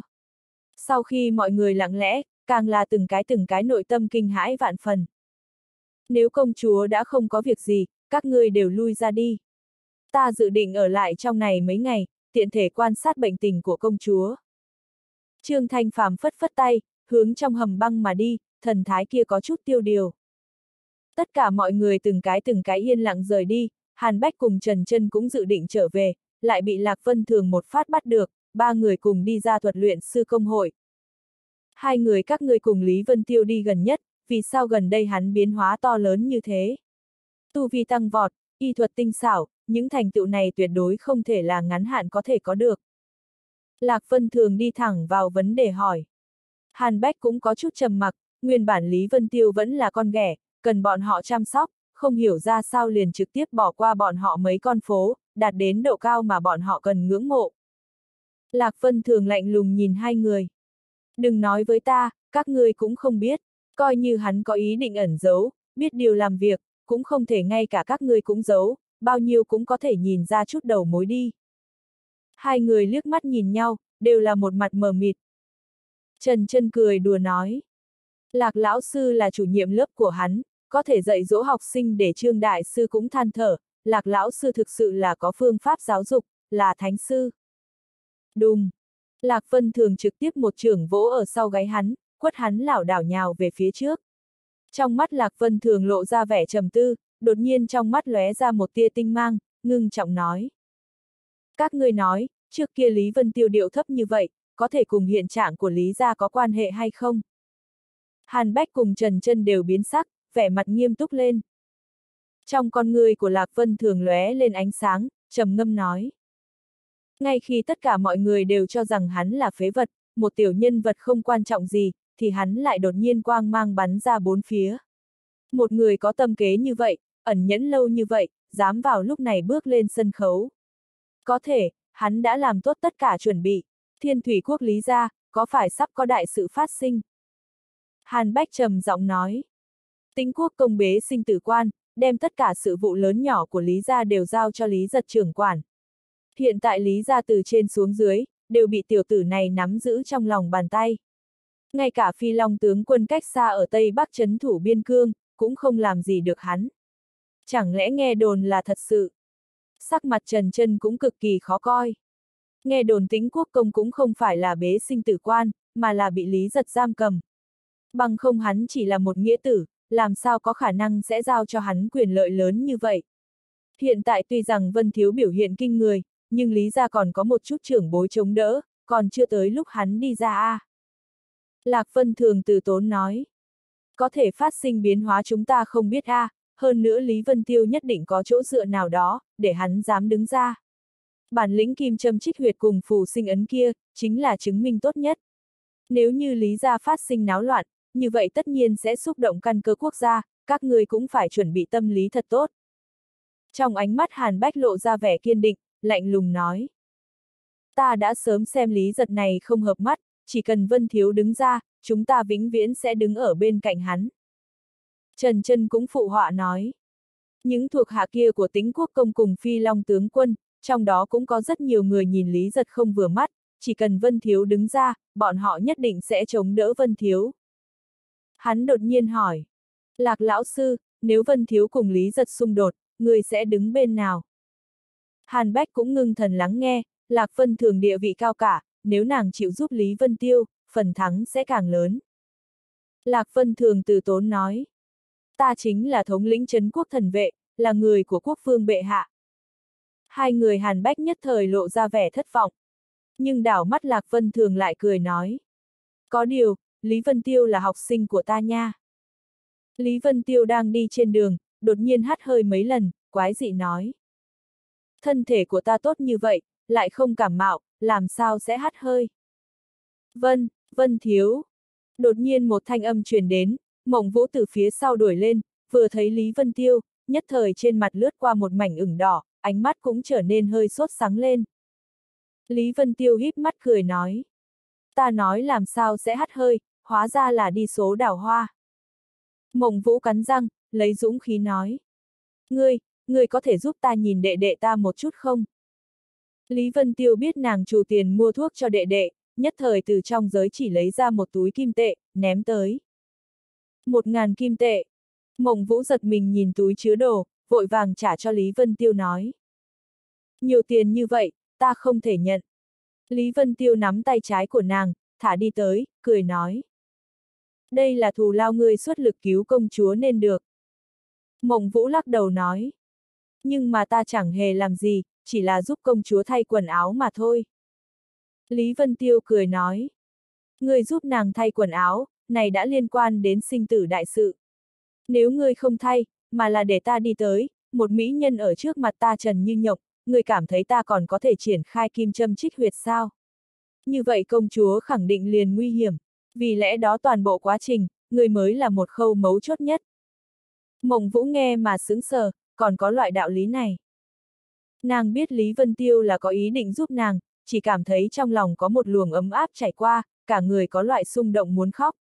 Tay phải chăm chú nắm lấy túi chứa đồ, cúi đầu nói. Cảm ơn ngươi, lần trước ta cùng Lam Phi đồng thời hãm hại ngươi, ngươi còn chịu giúp ta như vậy, xin lỗi. Lý Vân Tiêu cười nói. Không có chuyện gì, hơn nữa lần trước ta cũng không mất mát gì a, à, có cơ hội còn muốn trở lại mấy lần. Mộng Vũ vừa nghe, biết hắn ám chỉ, nhất thời mặt mũi thẹn thùng đỏ chót, như trái táo chín mùi, hầu như liền muốn chảy nước. Lý Vân Tiêu cười ha ha nói. Đệ đệ của ngươi bị bệnh gì? Nếu không ta theo ngươi đi xem một chút. Mộng Vũ nhất thời đại hỉ, tuy rằng nàng không biết thực lực của Lý Vân Tiêu, nhưng có thể chữa khỏi bệnh tật mà ngay cả cung đình thủ tịch thuật luyện sư cũng bó tay, này tất nhiên là không bình thường. Nàng vội vàng mang theo Lý Vân Tiêu đi về nhà. Nơi nàng ở là trong một khu nhà dân phụ cận thủ đô, cách học viện tới hai canh giờ đi đường, thực lực hai người đều không tầm thường, cũng đi gần nửa ngày mới đến. Lý Vân Tiêu cười trêu nói. Chẳng trách người tuổi trẻ như thế đã mở ra bảy đạo mạch luân, khoảng cách nhất nguyên cảnh võ sĩ cũng chỉ một bước. Nguyên lai like mỗi lần về nhà đến trường, liền bù đắp được bế quan. Mộng vũ gò má ửng đỏ. Nhà ở thủ đô quá đắt, chúng ta nơi nào mua được. Dọc theo đường đi tán gẫu, Lý Vân Tiêu cũng hiểu rõ, phụ thân của Mộng Vũ đã từng là một tên nhân dũng hiệu ý của vương quốc, bao nhiêu cũng coi như có chút chức vụ. Nguyên bản mang theo tỷ đệ bọn họ ở trong nội thành, nhưng ba năm trước, trong một lần nhiệm vụ bất hạnh hy sinh, đứt đoạn mất khởi nguồn sinh hoạt của hai tỷ đệ, chỉ có thể dựa vào chút tiền an ủi mỗi tháng sống qua ngày, lúc này mới chuyển ra ngoài, ở vùng ngoại thành. Cũng may cả hai tỷ đệ đều hiểu sự, hơn nữa thiên phú cũng không tệ, Mộng Vũ ở 15 tuổi thi đậu giả Lam học viện. Đệ đệ Mộng Bạch 14 tuổi cũng mở ra năm đạo mạch luân, thiên phú còn trên Mộng Vũ, nguyên bản tất cả đều mạnh khỏe. Nhưng cũng ở năm nay bắt đầu, Mộng Bạch đột nhiên cả ngày ngơ ngơ ngác ngác, hoảng hoảng hốt hốt, thời gian dài ở vào trạng thái hôn mê, mà trên người cũng khi lạnh khi nhiệt, không biết nguyên nhân gì. Vì tập hợp tiền xem bệnh cho đệ đệ, Mộng Vũ làm thêm khắp nơi, cũng chính là nguyên nhân như vậy, mới đáp ứng Lam Phi thiết kế hãm hại Lý Vân Tiêu. Một gian nhà dân phổ thông, gia cụ đơn sơ, nhưng thu thập vô cùng sạch sẽ. Mộng Vũ vừa vào cửa, nhìn thấy đệ đệ nằm ở trên giường, nhất thời nước mắt chảy xuống, nghẹn ngào nói. Đã 4, 5 tháng, đều là bộ dáng này. Ta tìm không ít thuật luyện học đồ đến xem, đều không thể ra sức, chỉ có thể dựa vào hồi sinh ma thủy kéo mệnh. Nhưng dược hiệu của hồi sinh ma thủy cũng càng ngày càng yếu, ta thật sự rất sợ, mỗi ngày đều rất sợ. Ô ô ô, tinh thần của nàng tựa hồ trong nháy mắt suy sụp, nhào vào trên vai Lý Vân Tiêu khóc lớn. Một tiểu cô nương 15 tuổi chịu đựng áp lực mấy năm, dường như vỡ đê, nói hết đi ra.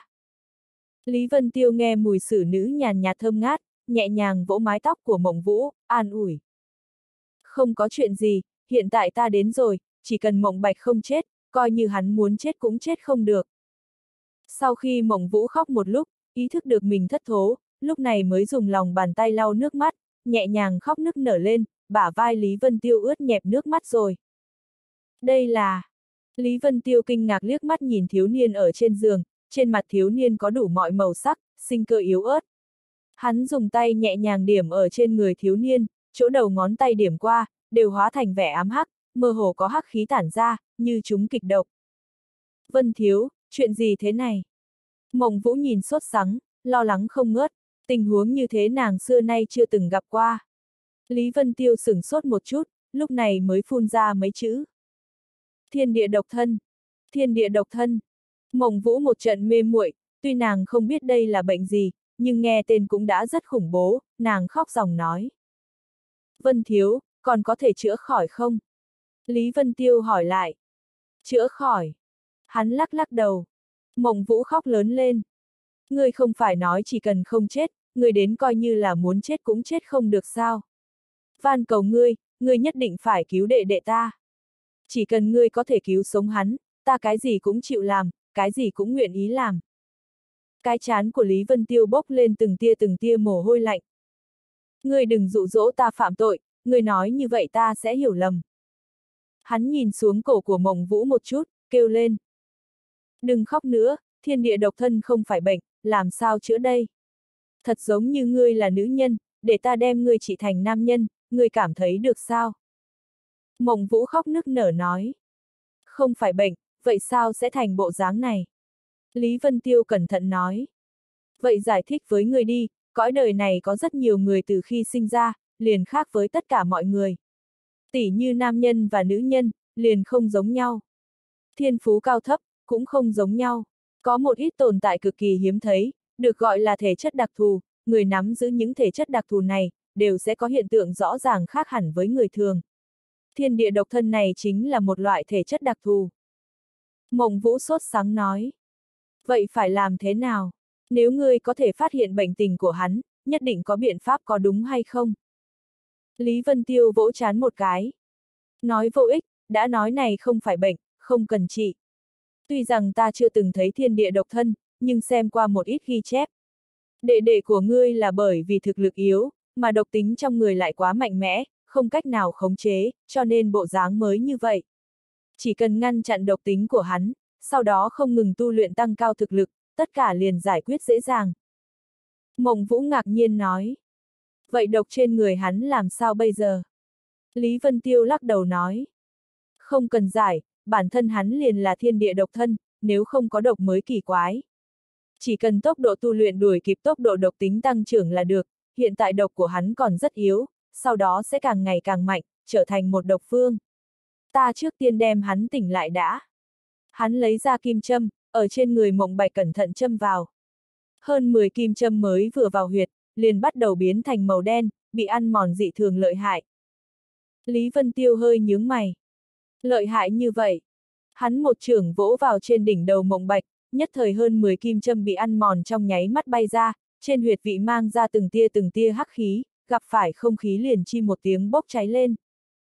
Giúp ta nâng hắn dậy. Lý Vân Tiêu ra lệnh, cả người ngồi xếp bằng ở trước người mộng bạch. Tâm của mộng vũ cũng nhảy đến cổ họng, vội vàng nâng mộng bạch dậy, lo lắng nói. Kim châm trích huyệt cũng không được, này nên làm gì? Kim châm trích huyệt của Lý Vân Tiêu huyền diệu, ngay cả ngũ âm tuyệt mạch mà Trương Thanh Phàm cùng hứa hàn đại sư cũng bó tay đều có thể trị hết, nhưng ở trên người đệ đệ nàng lại không có biện pháp gì, điều này làm cho nội tâm của nàng hết sức sợ. Không sao, ta đem độc trong người hắn hút tới trên người ta liền không sao.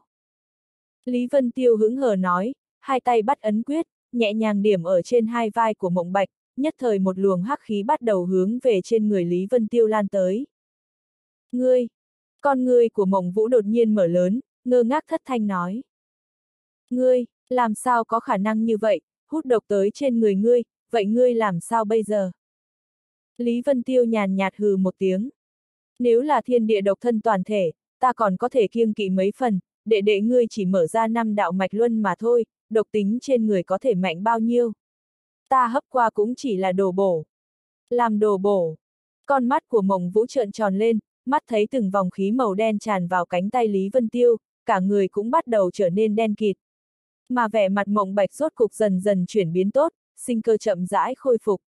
Nội tâm của nàng trong nháy mắt vạn phần cảm động, nước mắt từng giọt rớt xuống. Từ khi phụ thân qua đời, từ xưa tới nay chưa từng có ai nhọc lòng trợ giúp nàng như thế. Mặc dù có người cứu viện, cũng chỉ là thèm nhỏ dãi sắc đẹp của nàng, cuối cùng đều sẽ lộ ra bộ mặt thật. Lý Vân Tiêu không để ý tính mạng giúp đỡ mình như vậy, làm cho nội tâm cứng cỏi của nàng tràn ngập ấm áp, cảm động đến nước mắt đầy mặt. Hai mắt của Lý Vân Tiêu nhắm nghiền, cả người như một vòng xoáy khổng lồ, ở bốn phía thân thể tỏa ra lực lượng hấp xả nhàn nhạt, lượng lớn độc khí màu đen dọc theo kinh mạch trên cánh tay hắn vọt vào trong cơ thể, bắt đầu ăn mòn kỳ kinh bát mạch cùng huyết nhục. Trình độ độc khí này cũng muốn ăn mòn ta. Hừ, thiên địa duy ngã, tạo hóa nhất khí. Trong lòng Lý Vân Tiêu hét một tiếng, trong đan điền tuôn ra một mảnh kim quang, nhảy vào bảy đại mạch luân khiếu huyệt, nhất thời cả người từ đỉnh đầu đến gan bàn chân, bảy đạo sắc quang, ở dưới kim quang nối liền một đường, độc khí màu đen bắt đầu co lại nhanh chóng, màu da trên người từ từ khôi phục bình thường. Mộng Vũ ngừng khóc, ngơ ngác nhìn biến hóa trên người Lý Vân Tiêu, còn có vẻ mặt mộng bạch cũng càng ngày càng tốt, nội tâm mới vạn phần vui mừng lên. Những độc khí màu đen kia bị Lý Vân Tiêu áp xúc thành một đoàn, thu vào trong khí hải, càng tụ càng nhiều. Nguyên khí trong đan điền như tinh vân, chậm rãi đem những độc khí kia hấp thu vào, chuyển hóa thành năng lượng tinh khiết nhất, đem khí hải phong phú lên. Quả nhiên là năng lượng tiên thiên, cha cha, lần này có phúc. Nội tâm Lý Vân Tiêu mừng như điên, càng điên cuồng hấp thu lên. Võ giả tu luyện, chính là muốn hấp thu thiên địa nguyên khí để bản thân sử dụng, phong phú khí hải, đề cao năng lượng. Đại đa số võ giả ngoại trừ trực tiếp từ trong đất trời hấp thu nguyên khí ra, còn có thể thông qua hấp thu nguyên khí trong nguyên thạch đến tu luyện khí hải. Dù sao nguyên thạch chính là khoáng thạch cất giữ lượng lớn nguyên khí, hiệu quả so với trực tiếp từ trong thiên địa hấp thu mạnh hơn rất nhiều.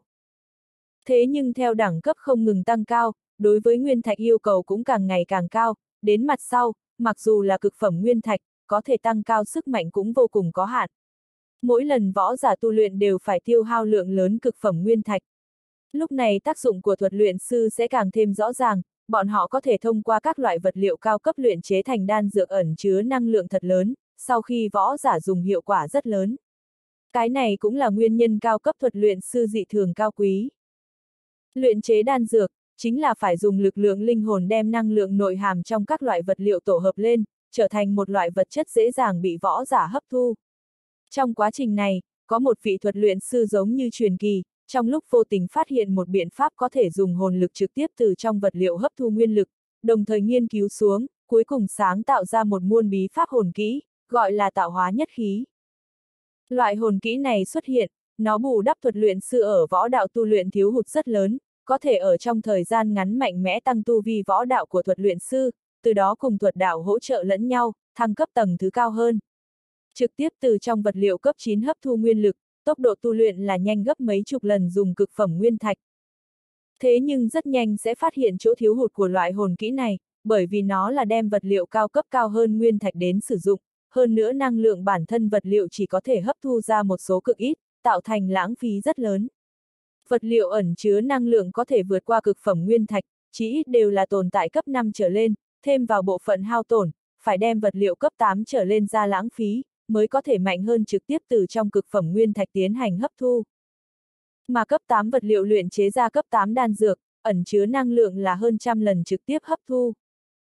Lúc mới bắt đầu cũng không ít thuật luyện sư phú khả địch quốc, vì theo đuổi tốc độ, không tiếc tiêu hao vật liệu, nhưng càng đến phía sau liền càng ngày càng không tiếp tục chống đỡ được. Cuối cùng bộ hồn kỹ này người biết thì nhiều, nhưng người tu luyện lại cực ít. Bởi vì ai cũng không có tài lực đi lãng phí như vậy.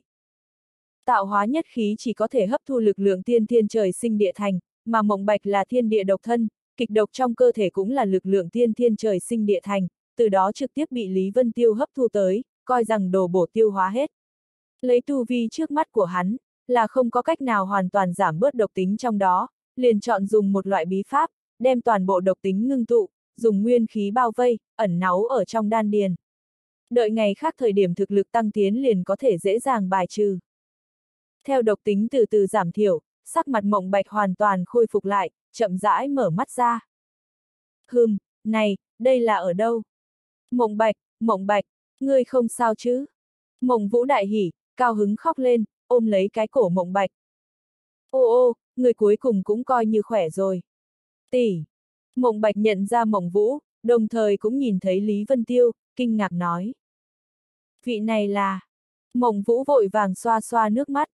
Vị này chính là đồng học của ta, gọi Lý Vân Tiêu. Ngươi gọi hắn Vân Thiếu liền được, là hắn cứu mạng ngươi, mau cảm tạ người ta. Đa tạ Vân Thiếu cứu ta. Mộng Bạch biết tình huống của mình, hiện tại là dễ dàng cùng thoải mái trước nay chưa từng có, bệnh trạng trên người đã hoàn toàn được rồi, vội vàng đứng dậy bái tạ. Ân. Lý Vân Tiêu đem độc thu sạch vào đan điền, lúc này mới chậm rãi mở mắt ra nói. Làm sao độc ít như vậy? Còn chưa đủ ta ăn, thiệt thòi ngươi vẫn là thiên địa độc thân, sau đó phải dưỡng nhiều chút độc mới được. Hắn đem độc trên người mộng bạch toàn bộ hấp hết rồi, cảm giác trong đan điền một mảnh phong phú no đủ, thật giống như hấp thu hơn trăm viên nguyên thạch, so với trong ngày thường tu luyện hiệu quả càng nhanh. Vì vậy lưu luyến không rời, vỗ vỗ miệng nói.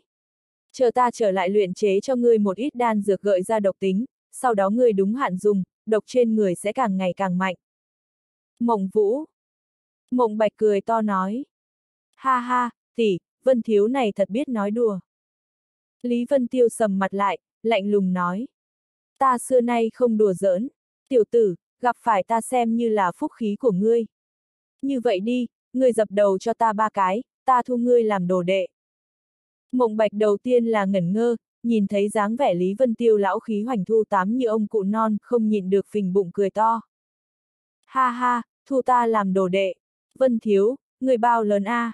Nhìn qua cùng tỷ tỷ ta không kém bao nhiêu, chỉ lớn hơn ta một tuổi, còn thu ta làm đồ đệ. Ta muốn bái ít nhất phải bái võ sư có thể vào Trấn quốc thần vệ làm sư phụ. Trấn quốc thần vệ chính là cơ cấu vũ lực mạnh nhất của vương quốc, ở trong thế giới tôn trọng võ đạo, là địa phương thần thánh nhất trong lòng người trẻ tuổi, tràn ngập sắc thái truyền kỳ. Trong lòng Lý Vân Tiêu vừa tức vừa thương xót, mình dĩ nhiên không sánh bằng một tên võ sư. Phải biết ở kiếp trước, tồn tại cấp bậc võ sư liếm đáy giày cho hắn cũng không xứng, hắn tiện tay liền có thể chém chết mấy chục ngàn võ sư. Hiện tại, Mộng Vũ nhìn thấy trên mặt Lý Vân Tiêu lướt qua một tia không vui, vội vàng ấn đầu Mộng Bạch xuống, quát khẽ. Tuy rằng Vân thiếu tuổi trẻ, nhưng bất luận võ đạo hay thuật đạo đều là thiên tài ghê gớm, người bái hắn làm thầy là người có phúc ba đời. Còn không mau mau dập đầu bái sư. Nàng biết thực lực của Lý Vân Tiêu, làm sư phụ của Mộng Bạch là đầy đủ. Hơn nữa độc trên người Mộng Bạch cũng chưa hoàn toàn tiêu trừ, sau đó còn hy vọng Lý Vân Tiêu xuất thủ cứu giúp đây này. Mộng Bạch vội vàng nói. Tỷ, ta là đệ đệ của ngươi, ngươi không thể hại ta à. Mộng Vũ nhìn thấy sắc mặt Lý Vân Tiêu càng ngày càng khó coi, nhất thời trong lòng sốt sắng, mạnh mẽ hướng về trên đầu Mộng Bạch đập xuống. Ngươi dĩ nhiên nói ta hại ngươi, tỷ khổ cực như thế còn không phải vì ngươi hay sao? Ngươi, ngươi khí chết ta rồi. Nàng dưới tình thế cấp bách, nước mắt lại rào rào rớt xuống. Mộng Bạch thấy nàng khóc, nội tâm nhất thời hốt hoảng, vội vàng nói. Tỷ, ngươi đừng khóc, là ta sai rồi, ta bái sư ngay.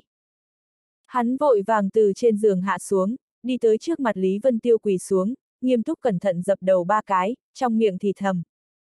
Sư phụ tại thượng, xin nhận đệ tử mộng bạch cúi đầu. Lý Vân Tiêu gật đầu nói. Ta biết hiện tại ngươi không phục, có điều không liên quan. Hiện tại sư phụ cũng rất nghèo, không có lễ ra mắt gì đưa cho ngươi, vậy ta sẽ dạy ngươi một bộ vô thượng luyện thể thuật, gọi bá thiên luyện thể quyết, vừa vặn phối hợp thể chất thiên địa độc thân của ngươi, thành tựu tương lai không thể đoán trước. Mộng bạch thấy hắn dáng vẻ như ông cụ non, nội tâm cực kỳ quái dị, nhưng vẫn đàng hoàng nói.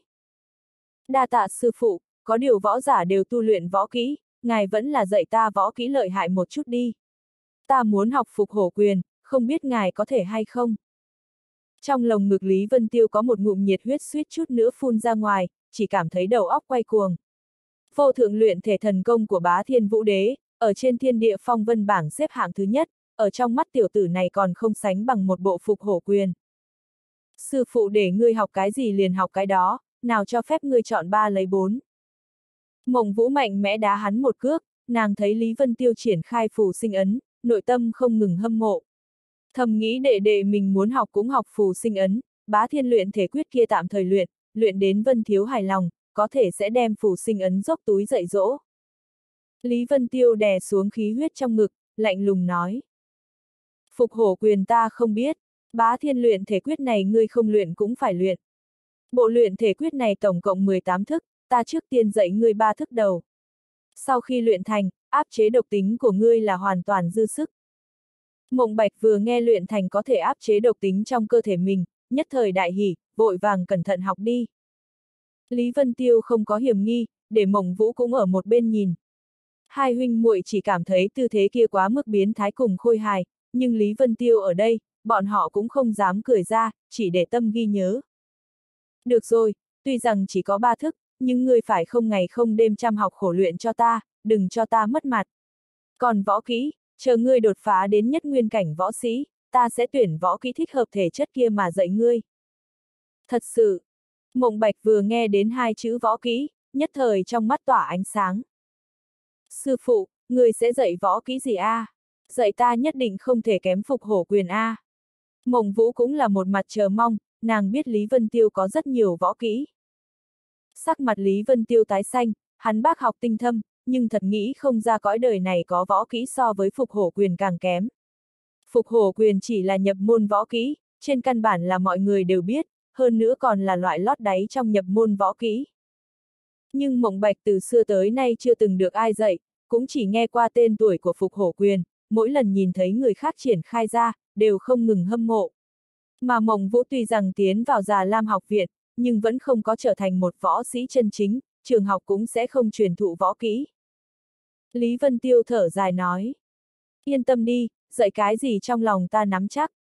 Hiện nay người phải làm là không ngừng cường hóa thân thể, đem độc tính trời sinh tăng cao, đây mới là đường mà ngươi nên đi. Hắn liếc mắt nhìn trong góc gian phòng trồng chất một ít hòn đá, kinh ngạc nói. Những thứ này là nguyên thạch thô. Ân. Mộng bạch đáp. Trước đây ta thường thường theo bọn người sử đại thúc đi đào mỏ, sau đó độc tính trong cơ thể phát tác liền không đi nữa. Kia là trước đây thật lâu trồng chất ở đó, phẩm chất không phải rất tốt, vì lẽ đó không có thể bán giá tiền cao. Lý Vân Tiêu đi tới trong góc, bắt đầu xem xét, hắn mơ hồ cảm giác được một tia tin tức dị dạng. Rất nhanh, từ trong đống đá vụn nhặt lên một hòn đá ám sắc, cẩn thận nhìn kỹ. Mộng Bạch kinh ngạc nói.